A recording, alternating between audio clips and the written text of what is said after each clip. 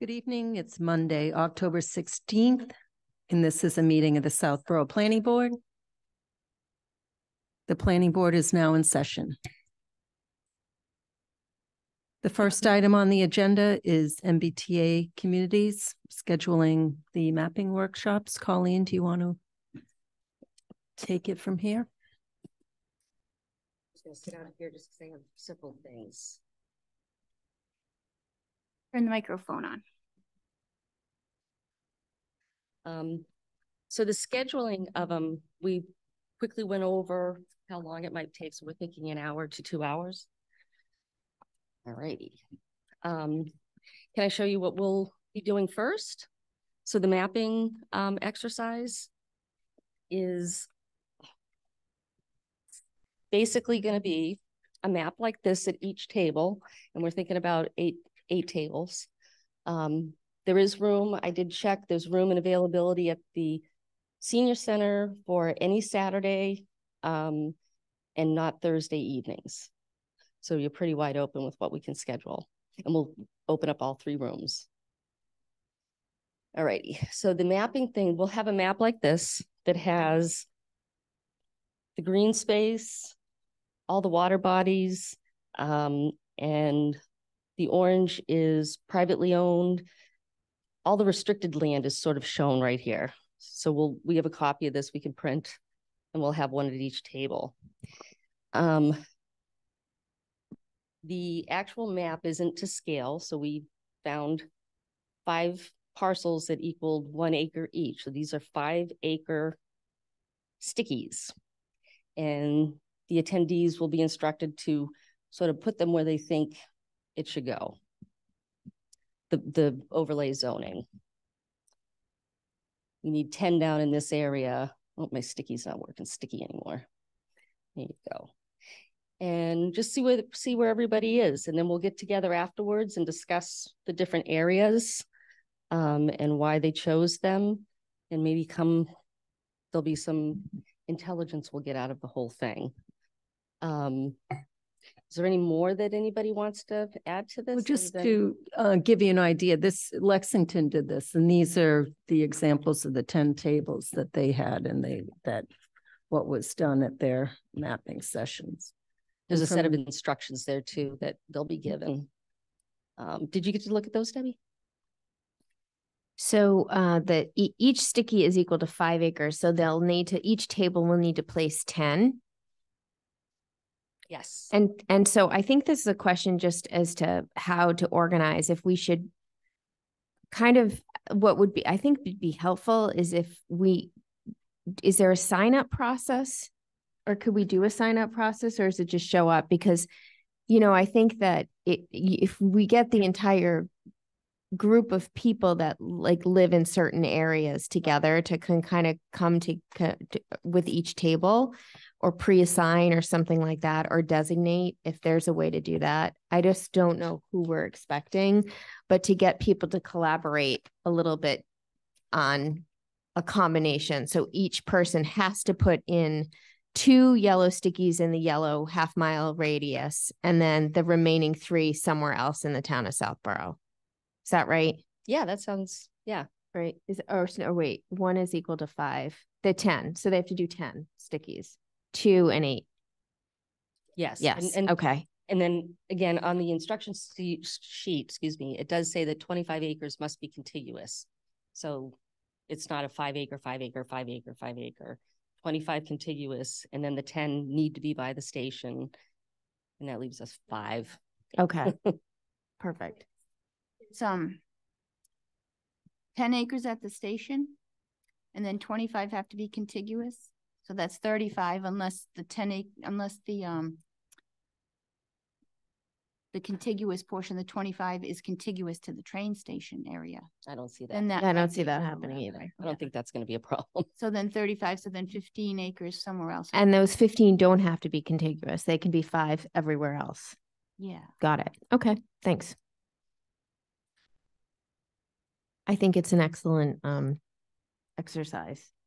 And so what Marnie, what you were recommending is that um if we get a group just open attendees, they could all be from one sector of the town. And then you'll get a biased feedback. Um, so if we ask people to sign up, um, we may have a better sense of it, but you can't control that you get every, you know, different parts of the town attending. Right. Or we could just do it differently as people walk in. Like if we have eight tables, then we label each table and we just give out your table one, your table two. And so that we make sure that it's evenly distributed across and it's, it could still be biased just based on who walks in at what time, but Yeah. at least then it's somewhat a little bit more random as to who's coming in. And I think that's what they did in Lexington. They assigned numbers, table numbers to people when they Yeah. walked in. Yeah, and honestly, we can advertise it um through the email list that I have and through, say, a news flash and something on the website as bring a neighbor. Yeah. Work with a neighbor, you know, kind of make that suggestion out there. Colleen, how big is your list of, of, um, interested people? Just from the forum alone, um, I have probably thirty-five names. Um, some are couples, but So the person that is at the table, are they also taking notes to try to understand, like, why did you pick this part of the street instead of that part of the street? I mean, that'll be part of, I think, the discussion afterwards, have people sort of explain how they chose and why. Um, you know, and then maybe, you know, within their groups, they, they'll probably be discussing it while they're placing them, since it's a group effort. Um, to that point, I think it's a great idea that we actually provide a template where they have to fill out like why they've selected the areas. Okay. And, and, um, I think that's a good point because people will forget when it comes time to present or they don't want to present. So at least we'll capture their, their feedback and then we can all float along, who's ever attending can float along to each table and help them along. Like a notes sheet on each Yeah. table where, sort of a template where we're uh, we're providing, you know, where did you put your why did you put the 10 acres next the you know where you did at the railroad? Where, why. Where did you chose the 25 not where, but why did you choose this? Why did you select this and where did you place your your remaining three stickies? Not leading, but just th- they have to put the 10, right? So why where did why did you choose it? So it's really just asking very open questions. But it I you know, that's easy enough to create in a Word document. I can do And- that. And I'll go back and um view the video and and find out if there was any special kind of instructions that they gave verbally that weren't written anywhere that might have helped people along, how they picked or something.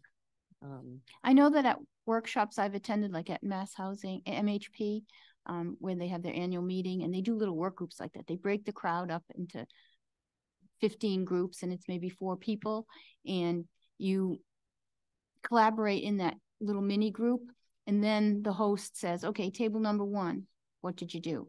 And they did have some kind of little guidance sheet. And then they, each table picks a speaker who is more comfortable and then they speak for the group. Yeah. Kind of thing. So I thought that worked, it does work well, I think, from, at least from what they were doing with us then.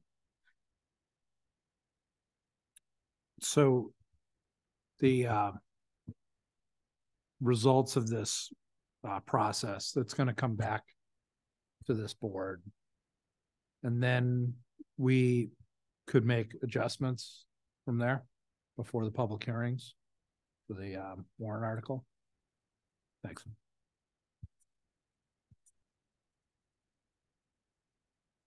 And I think from there, depending on um, where we decide the overlays are gonna go, we'll write the, the bylaw or bylaws, depending on whether we want different uh, regulations in different areas. so I had one other, um, Colleen, just real quick before. Yeah. Can you do that? Is that, I, I'm just not sure. You're allowed to have different criteria for different pieces of. Okay. yeah, you could have five different, well, not five different districts, I suppose, a few different districts. You could have one that was just multifamily overlay. Right. You have one that's multifamily with, um, bottom floor. So you could commercial. anticipate having several sections added as districts, as overlay districts. Okay, kind of under the MBTA heading. Yeah. Okay, just making sure. So, and the only other thing that I had that I thought might come in useful, and this was actually a affordable housing exercise, um, is something with the Legos because it shows spatially kind of how it's going to look. So, without having done all the numbers on this, um, this could be a each one of these is 100 square feet, kind of how I figured it out. So this is a 2,600 square foot ranch with its parking. This one would be parking underneath with the yellow being commercial. Oh, I'm sorry. You can actually see this? All right, so white being residential, yellow being commercial. This was just in case we had a commercial um, requirement to it. And then above is more residential, multifamily, and kind of figuring out the parking. So there is parking underneath. But to meet the parking requirement for this, we would still need parking elsewhere. So we would have the park, some parking out here, just to kind of spatially like, would you rather have all of the parking under and have it be taller? Or would you rather have no parking under? You know, um, it, yeah, spread out the footprint. It's just a visual that I thought might help if, if it comes into need and we'll have, I'll have better numbers. Exactly, you know, this is a two thousand square foot house. And this is my Legos I couldn't find. Have you ever tried to buy Legos? They come in nothing but kits now. So anyway, but um, something I'll write up on this. We'll have it there in case we need it. Um, I don't know if anybody's going to be confused on that sort of a thing. Just to be clear, would, would that be, um, the host, or you are having the example ready, it's, is, is it going to be something that each table has a little palette and they can build something? Or is it more for demonstration for the host at the? Um, I was planning on having a demonstration Yeah, and just kind of having some things laid out saying this is, you know, um, a single family home on one acre. Mhm. And here is, you know, um, a two family house on a half an acre. And this is what it looks like, fifteen units on one acre. yeah. And then you can do it different ways. So like a some- one almost block- You can play with. one block might represent a certain number of units. So you'd have fifteen white blocks and you'd have to put them on that green plate palette to show if you want fifteen units spread an out on one story Right. and you have very little green left, or you have fifteen uh, white blocks piled up and you have a fifteen story um, Exactly. building, but you have a whole bunch of green space left around there. And then so you could see the And relation. I, I just thought if we were to decide to do a commercial um requirement, which I hear EDC is kind of looking at, um, that this might be a we, everybody wants them, their piece in, in this little. Have zoning they met and discussed this at all? Pardon? EDC? Have they met and discussed this at all? Um, I believe they have. I haven't seen Leah this week. She comes in Tuesday through Thursday. Oh. But yeah, they, they definitely have an interest if it's gonna help them along Route nine. So you mentioned a commercial requirement. Mhm. Would, would a better way to phrase that or a possible way to phrase that be a commercial allowance? I mean, why would we require commercial? I'm lost on that a little bit. Um, say a downtown district, a lot of, um, the planning, uh, norms these days have the storefronts on the bottom and then they have residential above. So. Well, I know that's allowed, but it certainly isn't required. No, but we could require it along an underutilized section on Route nine. If there was an old building that, you know, like the old, um, where the car condos were going. What an ugly piece of land that was, you know? If you could take something like that and require a commercial bottom, apartments above, Mm. it would help revitalize that area. But again, that's, it- it's up to the board, all the input we get from the public. It may not be something that this town wants to do. I think the, um, the thought being on someplace like Route nine, we have such limited, uh, commercial zones in this town that you wouldn't want to lose the ability for commercial on Route nine, so you'd require Right. a mixed use. The only thing, I'm just thinking that some developers under certain circumstances might determine that the highest and best use is purely residential. In which case, a requirement that there be commercial building doesn't seem, I don't know, I don't see how that makes sense or helps. Well, to the, um, and I'm not speaking for them, but as an economic development, I've been involved in the past. It's a wonderful way to bring commercial base into your community and still have your residential, uh, units being taken care of. Um, Hmm. you know, if you require them, the storefronts, it could be a gym, maybe a, a, a public gym underneath, you know, there's a million different things you could do. But it helps the taxpayers it takes the burden off the residents when you have the more bigger commercial base, obviously. Right. Something that Southborough needs. Right. I mean, or what could happen is we might compel a developer to build a commercial unit that just is vacant. And that, that, that could happen, Yeah, unfortunately. So I'm just, you know, my, my support would probably be behind allowance for a commercial rather than something that compels a developer to, uh, build a commercial unit that could, structure. yeah, we'll have to go back to the, um, ho- however you write it, as long as we zone it, I- we can require this, or I think we can allow it. I think either way would be okay. It's a good point, though. Thanks. Any other comments? So I know we discussed this lot coverage Yeah. during the, the downtown when, uh, there was a push to change from the FAR that we have in all of the zoning to the, to, uh, lot coverage. So I think that's, um, useful to understand. But I don't know if that goes with the mapping particularly. Okay. Just my opinion. I don't Yeah. know what the rest of the board The thinks. purpose of the, of this is, is to show the proportions, right? I think it's pretty useful, personally. Is, is, a is that green square supposed to be an acre? Um, this is the part, so there's thirty-two by thirty-two. And each one of these is, in, in the instructions I had, was a hundred square uh, feet. Which makes it easy with the bricks to kind of figure out, so this is eight little dots, so it's eight hundred square feet. So two of these, I figure, is your average house.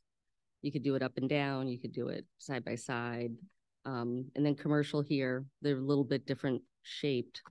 Um, but just the different colors, so you can kind of see where the commercial, I have long skinny ones, so you could do it a little, a little bit different than say a residential unit.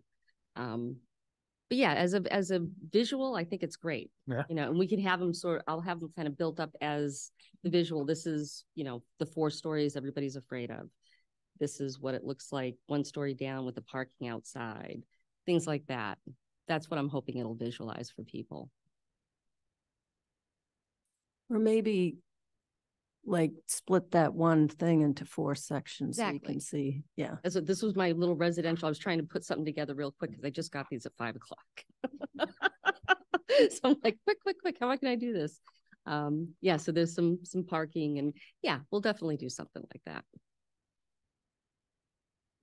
Um, I agree. I think the Legos is a good use of visualization. I also heard when we did the forum, I didn't attend the second one, but the first one, people wanted to see the fifteen units per acre. And I know we didn't have any of those examples. So I don't know if we have, so one, that's helpful, but two, if there's another way. Um, I was clicking through something. Was it the Lexington examples? They had a bunch of ones. They they brought it into like Waltham corner, like you saw a bunch of different um representations. But I think if there's um maybe it's our PowerPoint slide where you've already done that, Colleen, and you've shown that. I think having some of those available for people to flip through, Oh, sure. um, just to see again. And then if there is a fifteen um unit per acre example or examples that we could find on the net. I think it would just help people. Yeah, I think visuals are just definitely helpful in my mind. I had a question about um accessory dwelling by right. Um, as part of the housing choice law, I think that you're able to have some, one or or maybe more of the districts have accessory apartments by right. If, um, as long as you don't change the wording in the law. And would we, do we have to worry about that now?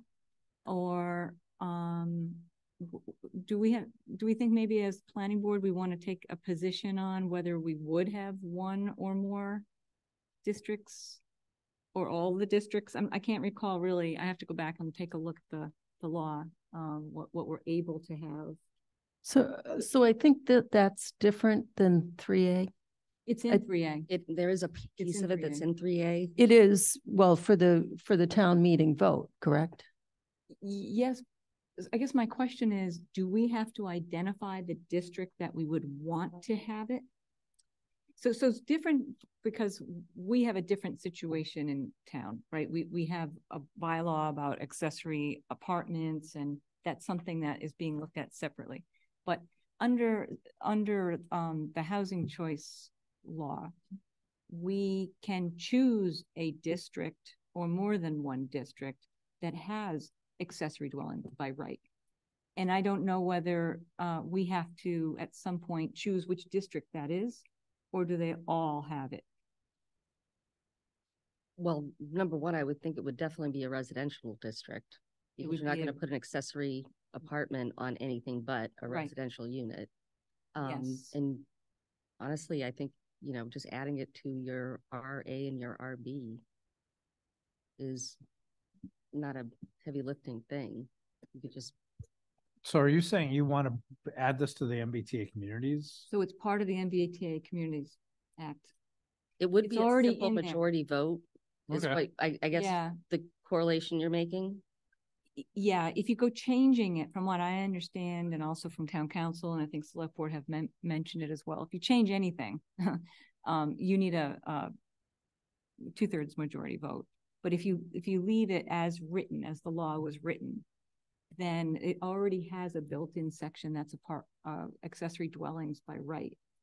But I think you have to choose which district, or maybe I just don't understand it, maybe. Wouldn't it be in the whole, in every, in anything?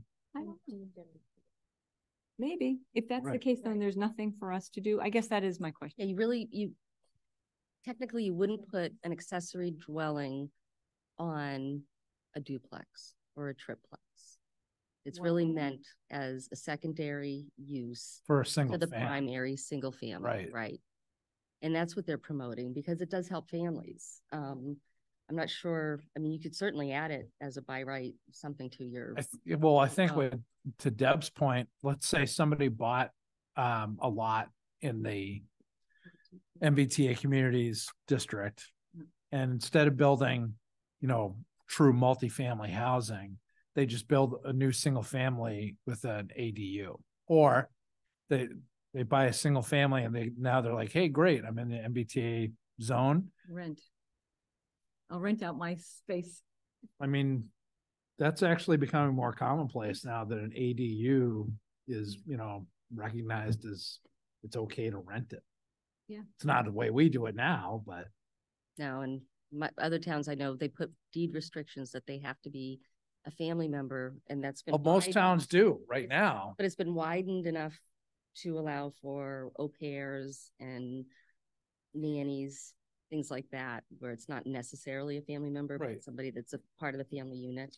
But I think, I, I think uh, Deb is onto something where it doesn't, we don't, ha- we don't necessarily have to have large multifamily, high density housing built in the MBTA, you know, it's Yeah. not required. No, somebody could just add an ADU to an existing single family by right. And I think that would be advantageous. So we just kind of want to make sure when we're doing our review of the um so you want to talk about the, accessory dwelling units by right for single family units in the MBTA. I don't see why we couldn't do that. seems, Let's- yeah.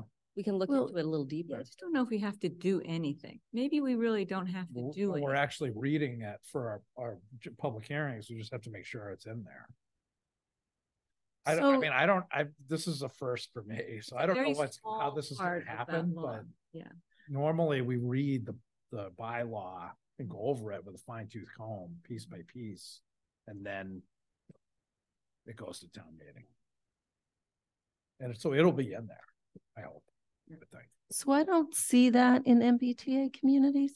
I'll, I'll send it to you. Okay. So So that would be on top of the, so we have to have an allowance for fifteen units per acre, and this would be an addition to that would be to allow ADUs by right?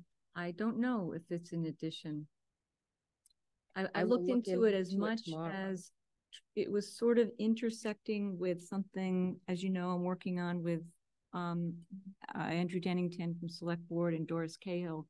from Which was ZBA. ADUs by right. Right, and so one of the, my questions to the two of them was, well, with MBTA communities coming into town and hopefully would be voted on, is it something that we still would want to do? And so we took a look at the, at the law and just agreed that, that, that's just separate from what that group is looking to do. Well, so if you, if you were to do it by right, just for your residential areas, um, it still would have a lower threshold. It doesn't have to be part of the three A to have the lower threshold. The lower threshold is meant to promote units, the, the building of units. Yeah. Um, so I know I've seen it that way. How you write it into it, I'm not hundred percent sure. I'd have to look into it a little I'll have to look into it too. I had looked into it a, a while ago and if I'm incorrect, I'll correct myself, but I'll, I'll send along the information that I sent to Mr. Dennington. But the by right one is simple majority, Yeah, even if it sits alone.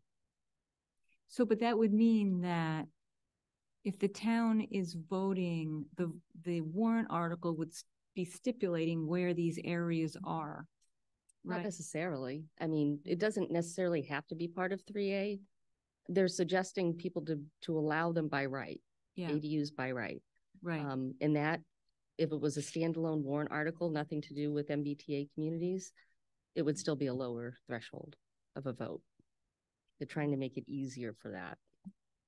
But are you saying that this ADU is part of the MBTA guideline that says you can put, no, right? You're just saying the vote is different. I think it, I think it's been, since everything has been, it's, it's been brought up. I don't know that As part of the housing choice, I think it just was listed as one of the features that um, you need only a simple majority Yeah, maybe that's how it was. versus a special permit. Like right now, accessory dwelling unit requires a special permit Right. from the ZBA with a report from the planning board. Right. And that's a four out of five person vote, not three. Well, it's a simple majority at town meeting to pass Oh, yeah, instead of right. two thirds. Yes. Right. Right. So does that mean we would need to write that into our bylaw if we want it? No, it's just, so I think I know where we're getting confused. I, you can put it in this. But what it was, I think what you were reading was just saying that these kinds of actions now have a lower voting threshold. Normal zoning is supermajority. And every time you change zoning, whether it's new or you're changing it or Yep. whatever, it's a supermajority.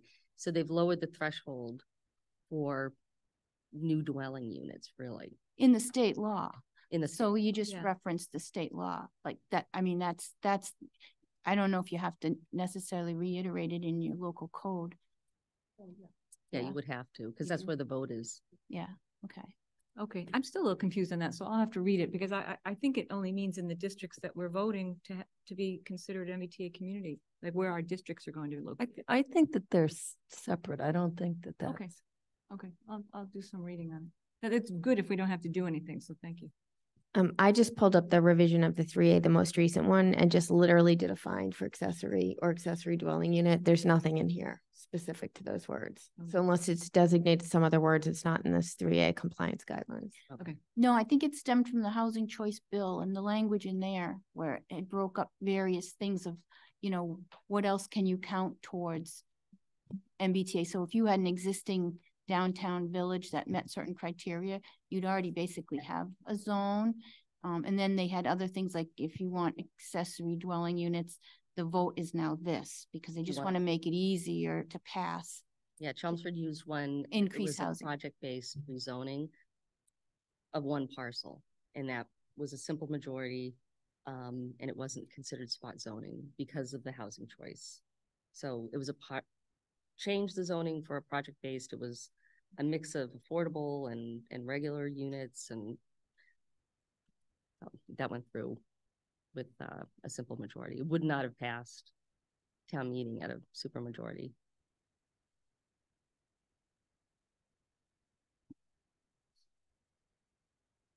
Oh yeah.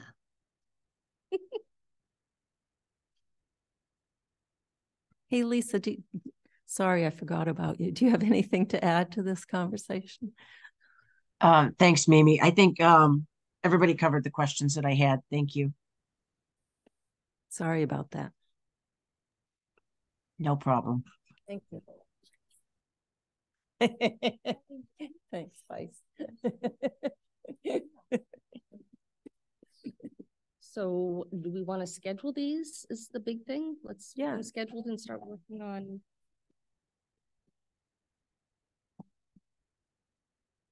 We, have we decided as a board that you um definitely want to do a Saturday? Looking at that, I just want to also point out that um Colleen was notified by um Bowler. by um the three A technical assistance folks and by uh, by Bowler Engineering that they've been authorized to give additional assistance. Yeah, um, they're to gonna help do our maps and help us with the bylaw. With mapping and bylaw. And then also I saw an email this morning um through the Mass Planners Forum about there's additional three A grant money for technical help um to do anything. to Yeah, they, basically they're do anything. basically, Even outreach. anything you need, we'll give you. Yeah, so if we have the opportunity, we could always try and get some of that too. Yeah, we'll take all the help we can get. We're looking at November. Is that when we're looking at? So we can, or Was it November, Here's the. last week in October? And November? that twenty-seventh, fourth? No, the thirtieth, the thirtieth and the sixth. Last week of October, first week of November. Yeah, that week of the thirtieth, October thirtieth. Oh, yeah. Yes. Do you want to do them in the same week? Is that what you're saying? No, I think we should do them in two separate weeks and that, that we thought maybe a Saturday would, would be helpful, but Mimi, can I offer a suggestion on Saturdays? Sure. So my only concern on a Saturday is most of the school age parents are back into full blown uh, fall sports. Um, I don't know when they end, and I would just be afraid that we might miss a group. I mean, maybe do one Saturday and then one one day, excuse me, during the week to be able to accom- make sure we accommodate everybody versus doing a, s- just a Saturday for both. yeah, oh yeah, I'd agree. Yeah, I think that was the intention. Yeah. Thanks, Lisa. Sorry, I misunderstood.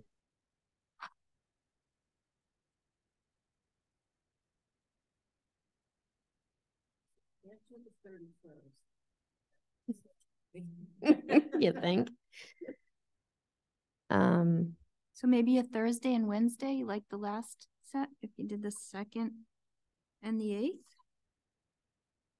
Do we, so do we, do we want, do we think a Saturday would be advantageous, would pick up a, a different demographic than during the week? I think potentially.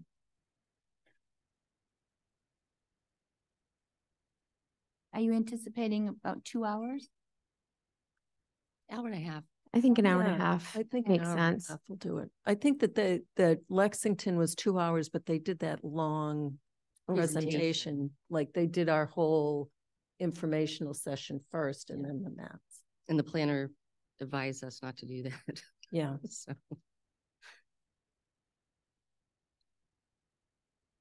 So I have a conflict on the Thursday, the second. That evening.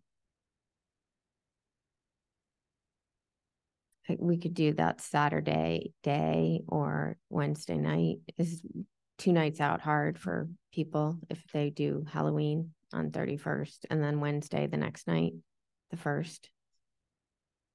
So, um, so Wednesday, the eighth,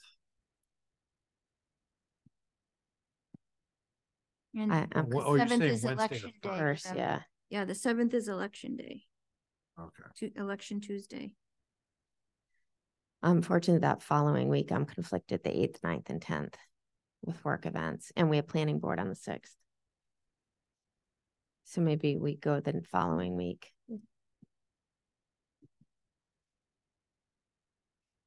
Yeah, the eighth works better for me personally. If we're doing it Wednesday, Wednesday, Thursdays aren't good at the senior center. They're not good. No. Oh, it's both Wednesdays and Thursdays. I thought you said no Oh, Thursdays. So just Thursdays are bad. Thursday. Thursdays, they have. a- Wednesdays a are good. Wednesdays are good. Okay. What about Wednesday, the eighth? They're wide open on their other days, I'm conflicted. You're conflicted. Yep. On the eighth. How eighth. about try the next week? the So week Wednesday, the fifteenth. Um, well, I don't need to be there as long as other people can do it, I guess, right? Yeah. It just doesn't, it, it totally opens up versus, um, but then the following week is Thanksgiving, so probably should do the week of the sixth and the week of the thirteenth, unless you want to squeeze one in on. Yeah, it's a tough one. Tough time of year. Could we do the Saturday, the twenty-eighth? Or are we not doing Saturday? I'm, I'm, um, I'm at Boston College that day. Football game? It's a football game. Um. Again, it doesn't have to be around my schedule, but if we could, I mean, even if we could do, if you did the eighth. The first and the eighth or something like that, if we ended up doing two Wednesdays. I could do the first, just couldn't do the eighth, and then you could do the eighth, but couldn't do the first. So you and I could swap out, Uh, if we could get like three and three.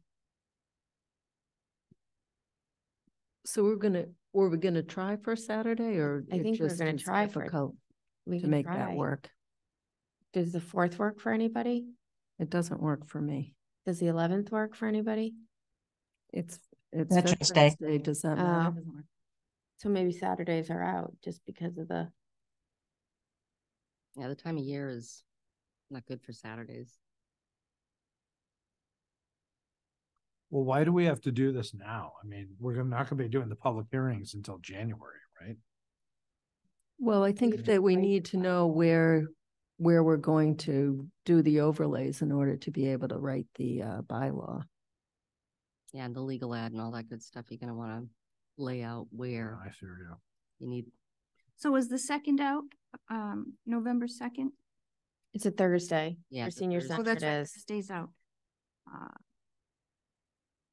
It'll be tough getting people there on a Friday, Yes. I Yes. think.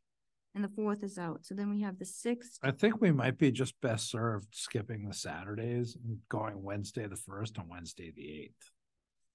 That's good for me. Can you make either of those? Um, I can make the eighth. Okay. Right now, I can do like both of those personally. With some pain, but still do it. I could do the first.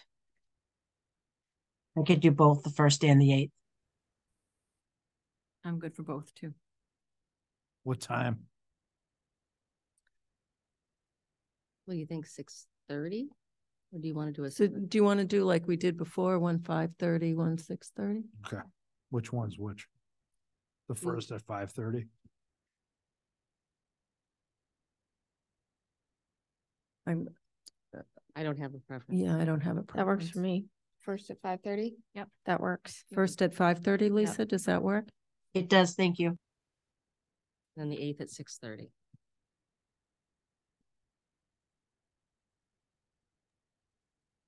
And I'd be happy again, once the um flyers are done for this, to get them in the electronic backpacks for the school again as well. Oh, thank you, Lisa. Great, thanks. So are we going to, um,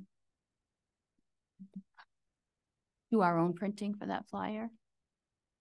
Yeah, right? We'll Yeah. just- Yeah, cause I have a list of people I can send to, We're just gonna do electronic, yeah, we'll just do like we did before. We don't have to do the townwide mail. the email list and the If need news- be, I'll, I'll send out, news and announcements, the flat, and, uh, e-flash, and I can send it to the town meeting reps again. That, that Yep. wasn't a big deal. and the school back. Town mm-hmm. meeting reps? Oh, I'm sorry. And my Southborough. Being attendees, the frequent flyers. Okay, that's, a- yeah, that would be good. Like just a little cardy thing. I think that was effective. Yeah. We have the funding to do that? You're not mailing, we're just, It's just postage. we're gonna Oh, make, I, I mean, you'll have my time Well, when the The flyer. Are you going to mail the card? Is that what We you're? We were saying to the frequent flyers to town meetings. Oh, yeah, okay. I. s- Those are the ones I following. with. I wasn't following things. the lingo. Oh. Sorry. I'm I'm thinking frequent flyer. I'm like, what? do you mean? No, it's the, the regular attendees, the people that show up at town meeting. Yeah, that- town meeting voters. Yeah. So I'll Colleen, fly. you and I create that thing again and I'll have Reagan create it on PDF. Okay, and I'll just, I'll get some, um, card stock. We'll do the printing here ourselves. Perfect. Yeah, because we do have funding for spec, you know, for, for these tasks. Yeah. So if you do want to send it to the printer, we can do that too, if it's advantageous time wise. Okay. Think about it, but you know, depending on how, how many in the list for the town meeting voters when you did it last time? So I think I, um, without literally counting, I think I did about eight hundred. Yeah, so that's a lot to I mean, print on the, on the town machine. So we'll have to figure out if we maybe just send it to the printer.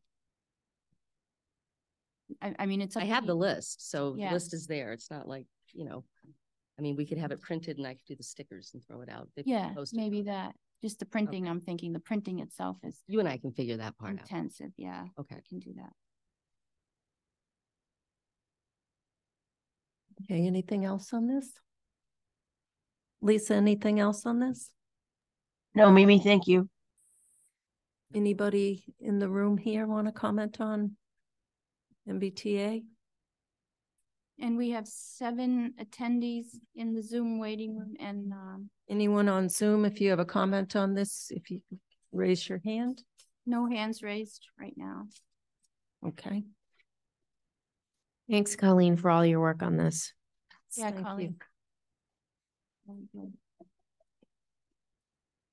The next item on the agenda is the Public Works Planning Board, Public Works Advisory Committee. Do you want to introduce us to this one, Debbie? I will, thanks, Mimi. Um, so, um, one of the select board goals was to abolish the Public Works Planning Board. And after a number of discussions, um, a small committee was put together to entertain the idea of a, uh, replacing the PWPB with the Public Works Advisory Committee. So, um, this is being led by Sam Stivers on the select board. And Tim, Mr. Tim Litt was assigned to, um, help, but that's not even the right word. Lassoed? um, support uh, the effort, and um, I'm kind of the third wheel, I'll say. Um, so Tim is here to give a presentation of uh, the enormous amount of work and thought that he's put into, and time that he's put into um, this kind of complicated uh, situation. Um, he's going to give an update on um, the, the current thinking and some of the um, conversations that he's already started to have with some of our stakeholders. So introduce Actually, Tim. if you let me you. share my screen, I can do this. Please.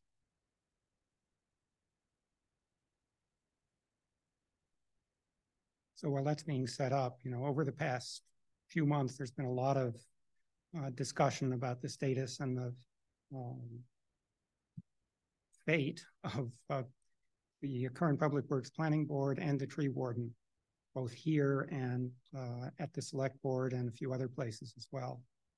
So I think most of you were present in this room when the select board voted to revise its FY twenty-four goal of abolishing the Public Works Planning Board.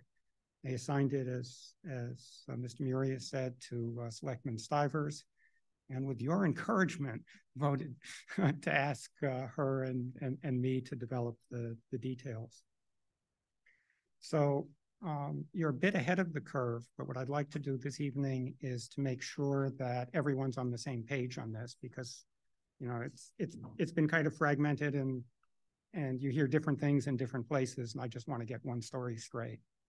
So this is the first time I think that there'll be a coherent story told in a public forum. So if you'll excuse me when I tell you things you already know, it's to try and get the whole story um, out. So I have two short slide sets. And the first one is um, uh, one that we've been using as we consult with the stakeholders, you being one of them. So if I can share my screen here.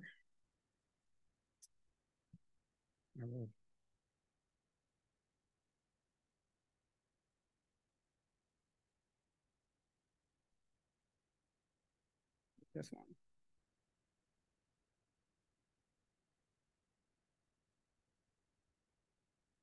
Okay, so um, the, the point on, on, on this one is to sort of go through the, the what, why, and how of, of, of what's going on. Um, and it's, it represents the three of us. We are, we are, by the way, not a committee. Sam owns this. We're unofficial helpers or uh, something like that. Okay, so in terms of background, um, I think we all know that the Department of Public Works has a pretty big impact on the town budget and, and services. One of the smaller, one of the larger um, parts of town. Um, many of the stakeholders expect the Public Works Planning Board to have an active role. Um, so the Public Works Planning Board was created by a special act of the legislature, which is Chapter 447, Acts of 1991, which also created the DPW from cemetery, highway, and water, and abolished the, the office of tree warden and replaced it by the select board, entertaining a little bit of uh, legislative sleight of hand. Um, so special acts are the legislature's response to home rule petitions that come from cities and towns. And once you have one, modifying it requires another home rule petition, an act of the legislature to do hopefully what you want. So home rule petitions have to be authorized by town meeting. The select board submits them to and negotiates with the legislature on behalf of the town. The legislature's response is not guaranteed. It's likely not quick. It's cumbersome. And the legislature, plus or minus some guardrails I'm going to put in, can modify, reject, delay, ignore, or maybe even do what we want. So um, it's pretty clear that change is needed. The current Public Works Planning Board's mission is not terribly clear if you actually read the um, the special act, and it's disputed, which is part of why the stakeholders are upset. So initially, if you read the text, it was to advise the select board or then board of selectmen on planning, managing, and financing of the town. That's literally what it says. So implicit in that is it's limited to public works, meaning work done by the DPW, you know, that language might make you think that it was supposed to duplicate the advisory committee, but it's not. Because that wasn't the intent. Um, and it was intended to represent town meeting as town meeting was implementing its vote to create the uh, DPW. There was also, a, after town meeting, there was also uh, a ballot initiative to confirm it.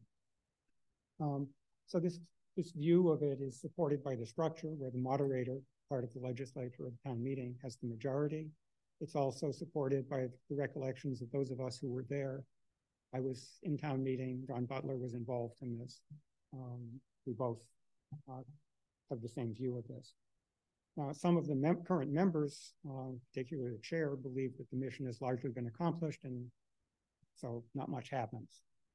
So currently, there is pressure from a number of the stakeholders. You're one of them um, to initiate guidance on priorities, long-term planning projects, and to respond to public concerns. Um, but in fact, the board rarely meets, it's passive, and many of the stakeholders are dissatisfied. The other thing I'll say is that the select board has not been a good tree warden. Um, they don't have enough time to do the, do the job right.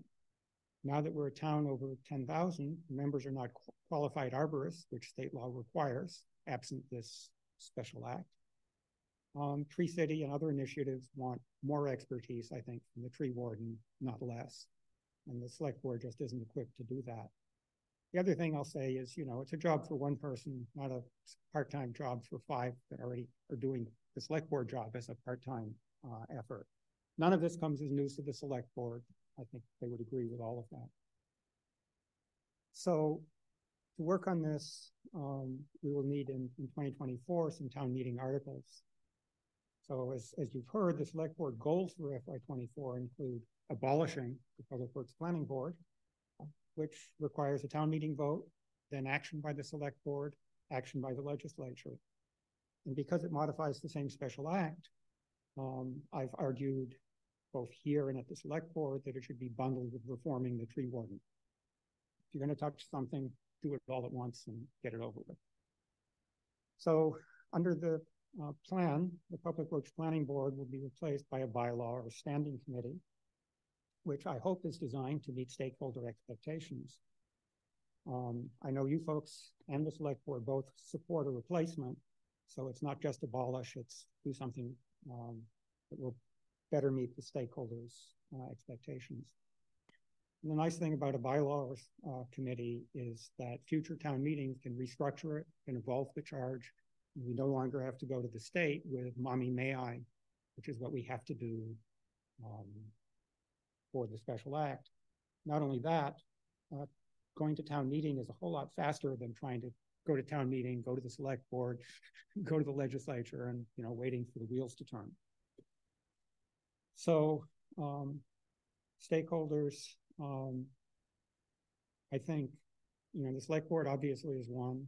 I consider you as one, both because of the nature of, of the work, um, but also because you were the, one of the appointing authorities for the current Public Works Planning Board.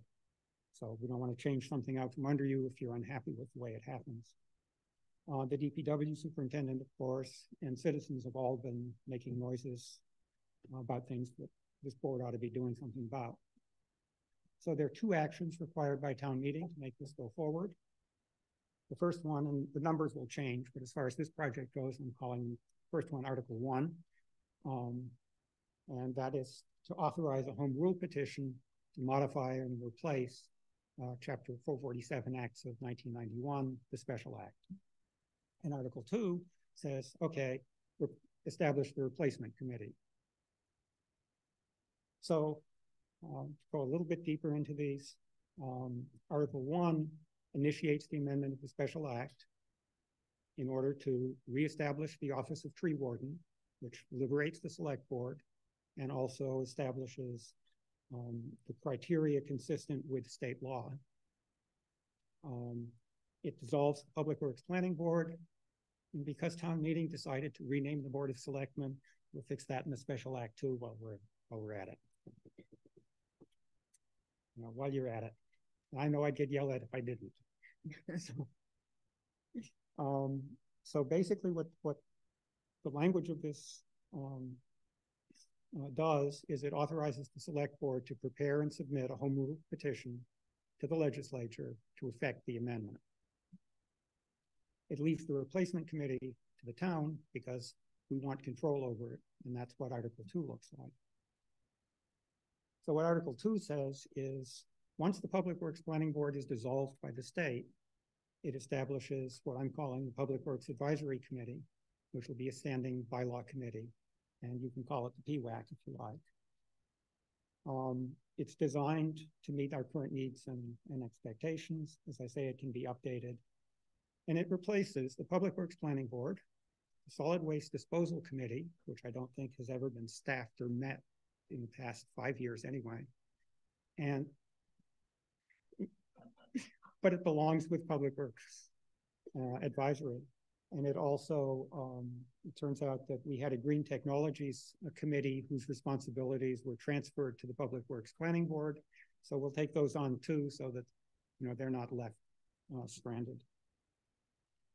The idea is to have it work with advisory, capital, planning, and then some of the clients, uh, Trails and Recreation and others as, as necessary. Both Trails and Recreation make a lot of use of DPW for doing work. And so I imagine that, you know, the budgeting and the planning and the project review will all sort of uh, overlap. Um, so it's currently at, at five voting members. I'm going back and forth. The majority seems to think five. I'm not sure if it should be five or seven, but it's one of those two. Um, a minimum of three have some um, professional background I'm not specifying what that is in the bylaw, but the kinds of things I have in mind are people like civil engineers or landscape architects or environmental uh, engineers or specialists, retired DPW people, people who have some idea of, you know, what the work is, because you don't want to purely um, you know, sort of random selection of people, but you also want to make sure that there is the opportunity for uh, at-large, you know, representation from the public. So that's why I made it, you know, just a portion of the board. Um, and then uh, ex officio, the DPW superintendent, and I've uh, was thinking that the town planner would be a good addition so that you know you have some uh, insight into what's going on. Hey, I knew you'd like me for that. Um, but the idea is that there, everyone's appointed, aside from the ex officio members, by the select board. Um, that seems to fit the notion of it being uh, DPW. And frankly, when we have multiple appointing authorities, it gets to be kind of busy and difficult to coordinate to get the right balance of people. And it doesn't seem like something that um, it's it's worth fragmenting. But of course, you know, if you have an opinion, happy to hear it. Um, the idea is that it advises the select board and the superintendent of public works. It is to assist with establishing priorities and long-term planning for significant public works projects. Significant is an important word there. Um, it may evaluate or develop options to be considered for projects that deviate from their plans in scope, expense, or schedule. Uh, you can think of some of the things that happened recently where you would have wished to have more people looking at it. Um, it may also assist in locating or evaluating the desirability of external funding like grants. Um, you can imagine where we've gotten into trouble for not having enough eyes on grants in the past. Um, and it becomes a focal point for communications to and from the public about projects, including project notices, hearings, transparency. Again, if we can offload hearings from the select board so that at least the first level of them uh, happen here, they're more likely to get a, a thorough hearing and the select board doesn't need the work. They can always have a hearing if they want to. Important point is that it does not manage or direct the superintendent of public works, employees or projects. It's purely an advisory uh, committee. And the idea is to help with the big picture. So that's, you know, in six or seven slides, sort of uh, where we are or, or, what I'm trying to do. Uh, the other set of slides talks about where we are. If you want to do questions on this first, we can do that. Let me go on. Mr. Stein? Great job, Mr. Litt. Thank you very much for taking the uh, project on in conjunction with uh, Mr. Maria and Mr. Stivers. Um, so the tree warden, would that be an appointed? It will, it will be per uh, Mass General Laws, what is it? 106, 40, something or other. Um, it's appointed by the Board of Selectmen and the state law that I reference um, requires that the tree warden be a qualified uh, arborist and have a pesticide license. And and there's a budget implication for that. So would that would the tree warden be like a contracted? It's I, I'm not going to prescribe that. It could be a contractor, it could be an employee, it could be part-time employee, it could be a full-time employee. That's up to the selectmen and advisory through the budget process. But the idea is, is that it's someone who is qualified. You'll notice also that the state law allows it uh, for there being deputy tree wardens. So is that something that we might want to refine? Those de- those types of details? So I don't want to put that into the bylaw. I think that will come out of the budget uh, process and it's something that may change over time. I mean, we may start uh, with a contractor and finding that, you know, it's a 10 hour a week job. And then as people dig into it, we may find, you know, in three years or five years that it's a full time job. I don't know. And it doesn't seem like something to hard code. So my my feedback to that is if we're going to say that the select board has not fulfilled the role, we really would want to know. I think that the town is going to say, well, what is the role? What is the requirement? What does this mean? Sure.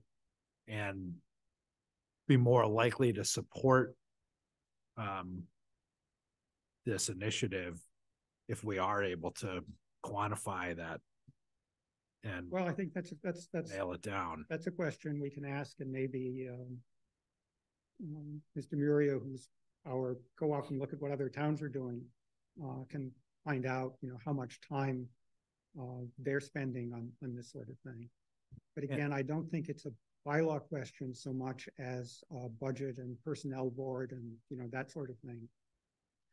So, and the tree warden would be reporting to the Board of Selectmen or to the, to the superintendent of DPW? So the way I have it um uh, written is that he's appointed by the Board of Selectmen and uh, is supervised by this DPW superintendent. Because the two are are intertwined and the Board of Selectmen are not good, you know, um day-to-day managers. They're good at setting policy and and sorting out disputes. So like who would be doing like the annual review of the tree ward? I would expect that to be the DPW superintendent. Hmm. And I would expect that if um, stakeholders are not happy or, are- or conversely are extremely happy, then they would be, you know, solicited for feedback in the normal performance appraisal process. Um, so just going back to, um, the notion of, uh, the stakeholders, Sure. we were talking about select board, planning board, and residents. I didn't hear advisory. Just out of curiosity, where do they fit into the scheme of things here? And So pardon my ignorance, I don't, I don't know what advisory has had to do with the current Public Works Planning Board, if anything. Well, the current Public Works Planning Board hasn't met in years, so no one's had much to do with it.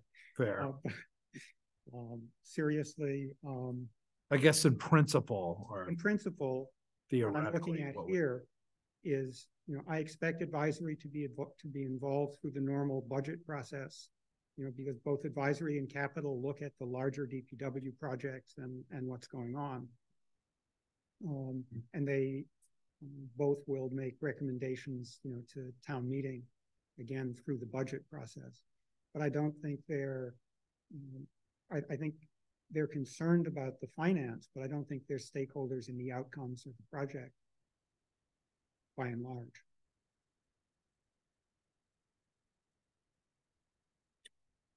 Okay, thanks very much. Sure. Good stuff. Ms. Houlihan. Thanks. Thanks, uh, Mr. Litt. Appreciate your time and attention to this. I guess I'm on the same wavelength with um, Jesse regarding appointment of the the um, town warden and tree warden. Um, and what about thinking about instead of an appointment, either contractor or employee Well, you can appoint. language? You can appoint a contractor. I mean, the fact that it, that, that the tree warden is appointed by the selectmen is what's in the state statute, you know, absent our, our special act. So it basically says, you know, for a town, where the town is, uh, uh, for a town, the tree warden is appointed by the selectmen. And for a town greater than ten thousand, there are some qualifications that the appointee must have. That doesn't prevent um, the selectmen from appointing a contractor. I mean, that's, that's done with uh, other jobs in the town. So again, we're not locking in one way or the other. But it, you lock out an employee with an appointment. No, I mean, you know, our, our current uh, tree warden designee is an employee who is appointed. I mean, the selectmen appoint empl- employees uh, all the time.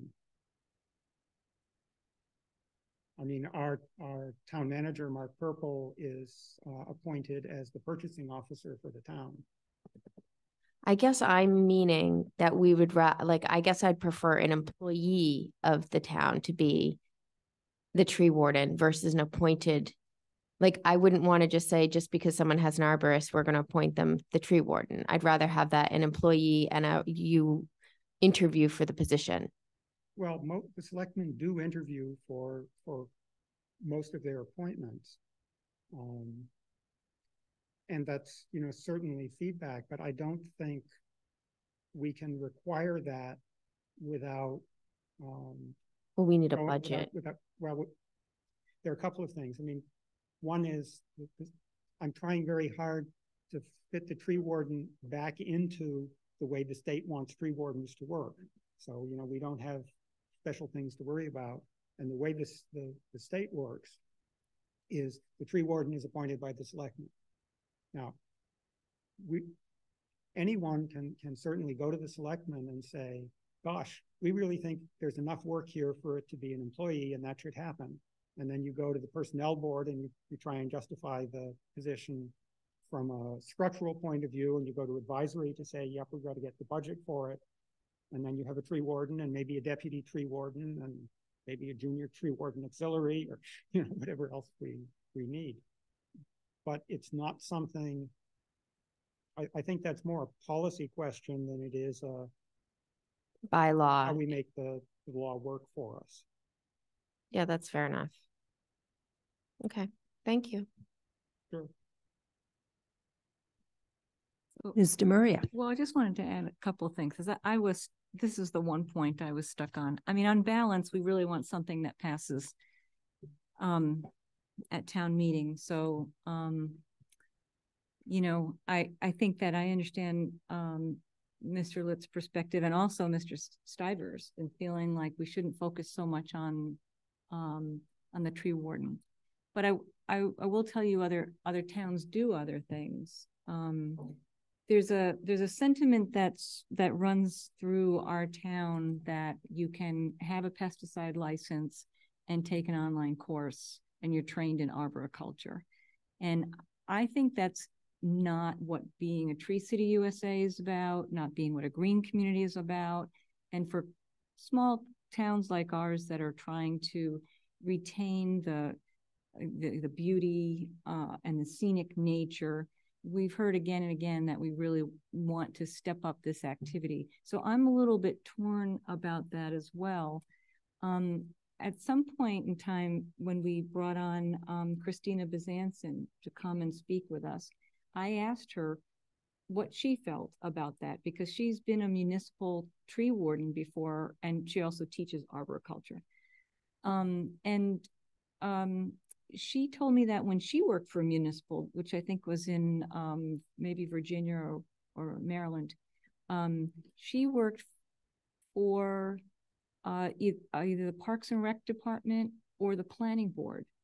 So in other communities, th there are ways, you know, they do things differently because it, it resolves the problem of conflict. So I love that idea, to be honest. I don't know whether Southborough is ready for that. Um, but I, I don't think that, you, you know, when I do a search, I go online and I look to see who has what kind of license in town. I have a pharmacy license and I look to see what does everybody else have? There's a hundred or more people with a pesticide. Drivers, pesticide, but that doesn't make them an arborist. So, and the way that the law is written is they must be trained in arboriculture. And so that's even more nebulous. That means that what, they take a class?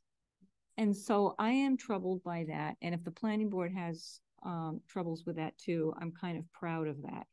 Um, because I think that if we leave it to the select board to say, hey, here's a 40 hour employee, but you know, we'll carve out some of that person's job because they just did an online course. I don't think that's what the people of Southborough are really looking for. So that's kind of the part that I, I have difficulty with. And I think that there also is a conflict with a, a tree warden reporting to DPW. And maybe I'm soured by what has happened in town over the last year. So I don't know, um, you know, maybe that's not, it, maybe it was not the way that most towns do it. But I, I did take on that piece to, to take a look at and see what other towns are doing. Um, and so uh, I, I will do that. But I, the idea of trying to keep it a little bit kind of um, according to law was really because we are looking to uh, get something passed at town meeting. We don't want to make that the controversial part. So, so I'll, I'll add a couple of things Yeah. to, to that. One is that the tr- most of the powers of the tree warden do not come from the town or from the selectmen. They come from state law. Um, so I mean, he had, the tree warden has a whole collection of, of authorities.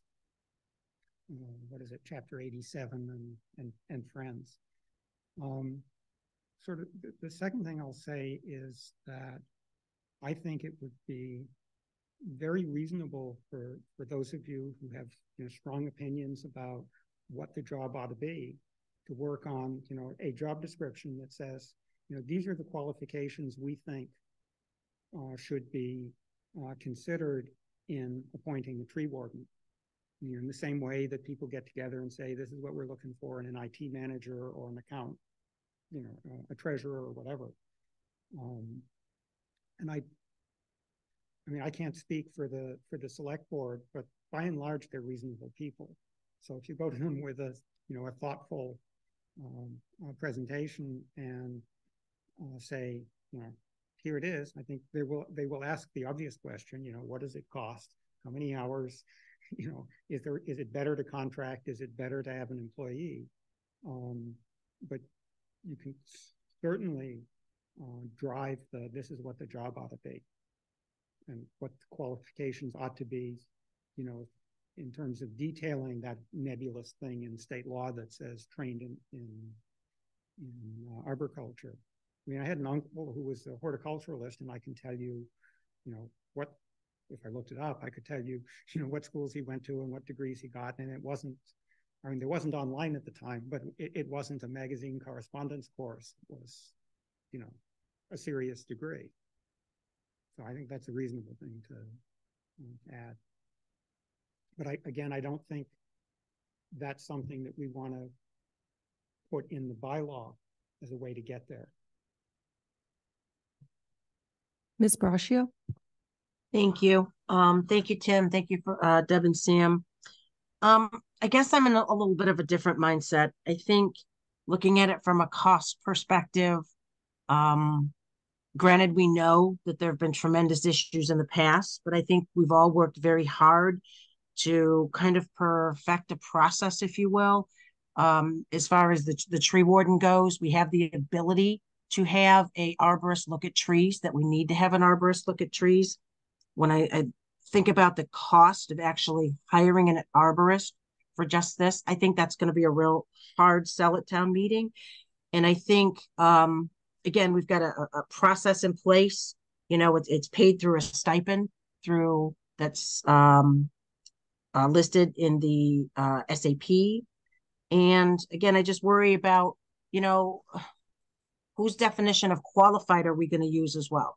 Again, I, I look at the job that uh, Mr. Leroy has done, you know, in the last few public hearings that we've had and how smoothly they've gone. And, um, you know, a lot of time and effort went into getting to this point. So I just want to be cognizant of that.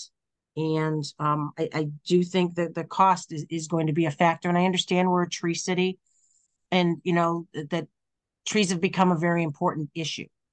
Um, but I just want to make sure we don't shut the door as well on an employee um, that I think could fill this role as well. So thank you. I will say that that that I had that conversation in terms of the management challenge with uh, you know the current tree warden uh, designee with Bill Cundiff, and um, you know I think you know exactly what one does um, there is, you know, something that he's going to have to think about and and and uh, come up with an answer for. Um, he probably doesn't fit our current definition of, you know, a trained arborist, horticulturalist, whatever. But, you know, um, does it be, you know, does it become something that, you know, he is the number one helper, he's the organizer, he takes care of the things that he's good at. Um, or does he do something completely different? I mean, that's a management question, and it's not something I think you know for us to um, go after. And let's see. Is it my turn? I think it's your turn. um, thank you, Tim, Debbie, and Sam. Um, very thorough. I really appreciate it. Um, just to clarify, the state does not require an arborist. It requires uh, tree warden shall be qualified by training and experience in the field of arboriculture and licensed by the Department of Food and Agriculture in accordance with the provisions of section ten, that's the, uh, the the pesticides. pesticides. I think that, I think that's consistent with what I've said. Well, you said the state required an arborist for, No, I said someone trained in, in arboriculture. I'll, I'll listen to the playback. Okay. If, Uh, if that- if that's not what I said, that's what I meant to say. So, so as Lisa said, that's difficult to define, qualified by training and experience in the field of arboriculture. And I, and I would argue that I think that we had um, bad management. And I think that the tree warden designee was not allowed to do his job in the past. And from, I've been very involved in all the tree hearings and walked um, with Mr. Leroy to all the trees. I find him to be very knowledgeable and um, anything that we had a question with, we had the arborist. Um, so it's easy to get an arborist to help us out. And I would question whether there's enough work to have a full-time arborist on staff, because I think Christina, when she was, she worked at, in a big city. And um, yeah, You would split towns. I think even um Westboro has part-time. They split, I think they split it with another town. It's a half-time position or something. Maybe not Westboro, but some, several of the towns. Um, well, I think Westboro, it's their DPW superintendent who's their tree warden, hmm. who Christina spoke very highly of. Okay, so some, some towns uh, have a part-time position, doesn't have to be full-time. Yeah, And, and by the way, some towns have a model where that person also does tree work. You have to remember that the cost of what we're spending to chop down trees or cut limbs, I don't know what that is, but in some towns, they do it internally within the town. That's part of the job. So I think when we look, and we're not gonna look at the cost, but Why is- when one is to look at the cost, they really need to look at the whole thing and what can be done by buying a cherry picker or a piece of equipment where you can do a lot of the work yourself. And that's what Christina did. and I, well, I wonder what the liability insurance would be. They're insured, yeah. Of course. Yeah, so I think great job, and I agree. I think that we can, you know, write a policy to get more specific in what we want the, the, you know, tree warden to, to do.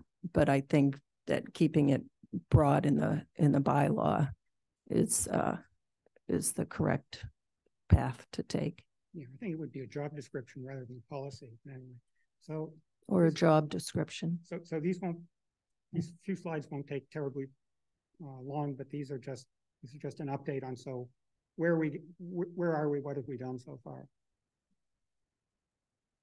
Somebody wants to ask a question. Can they ask a question first?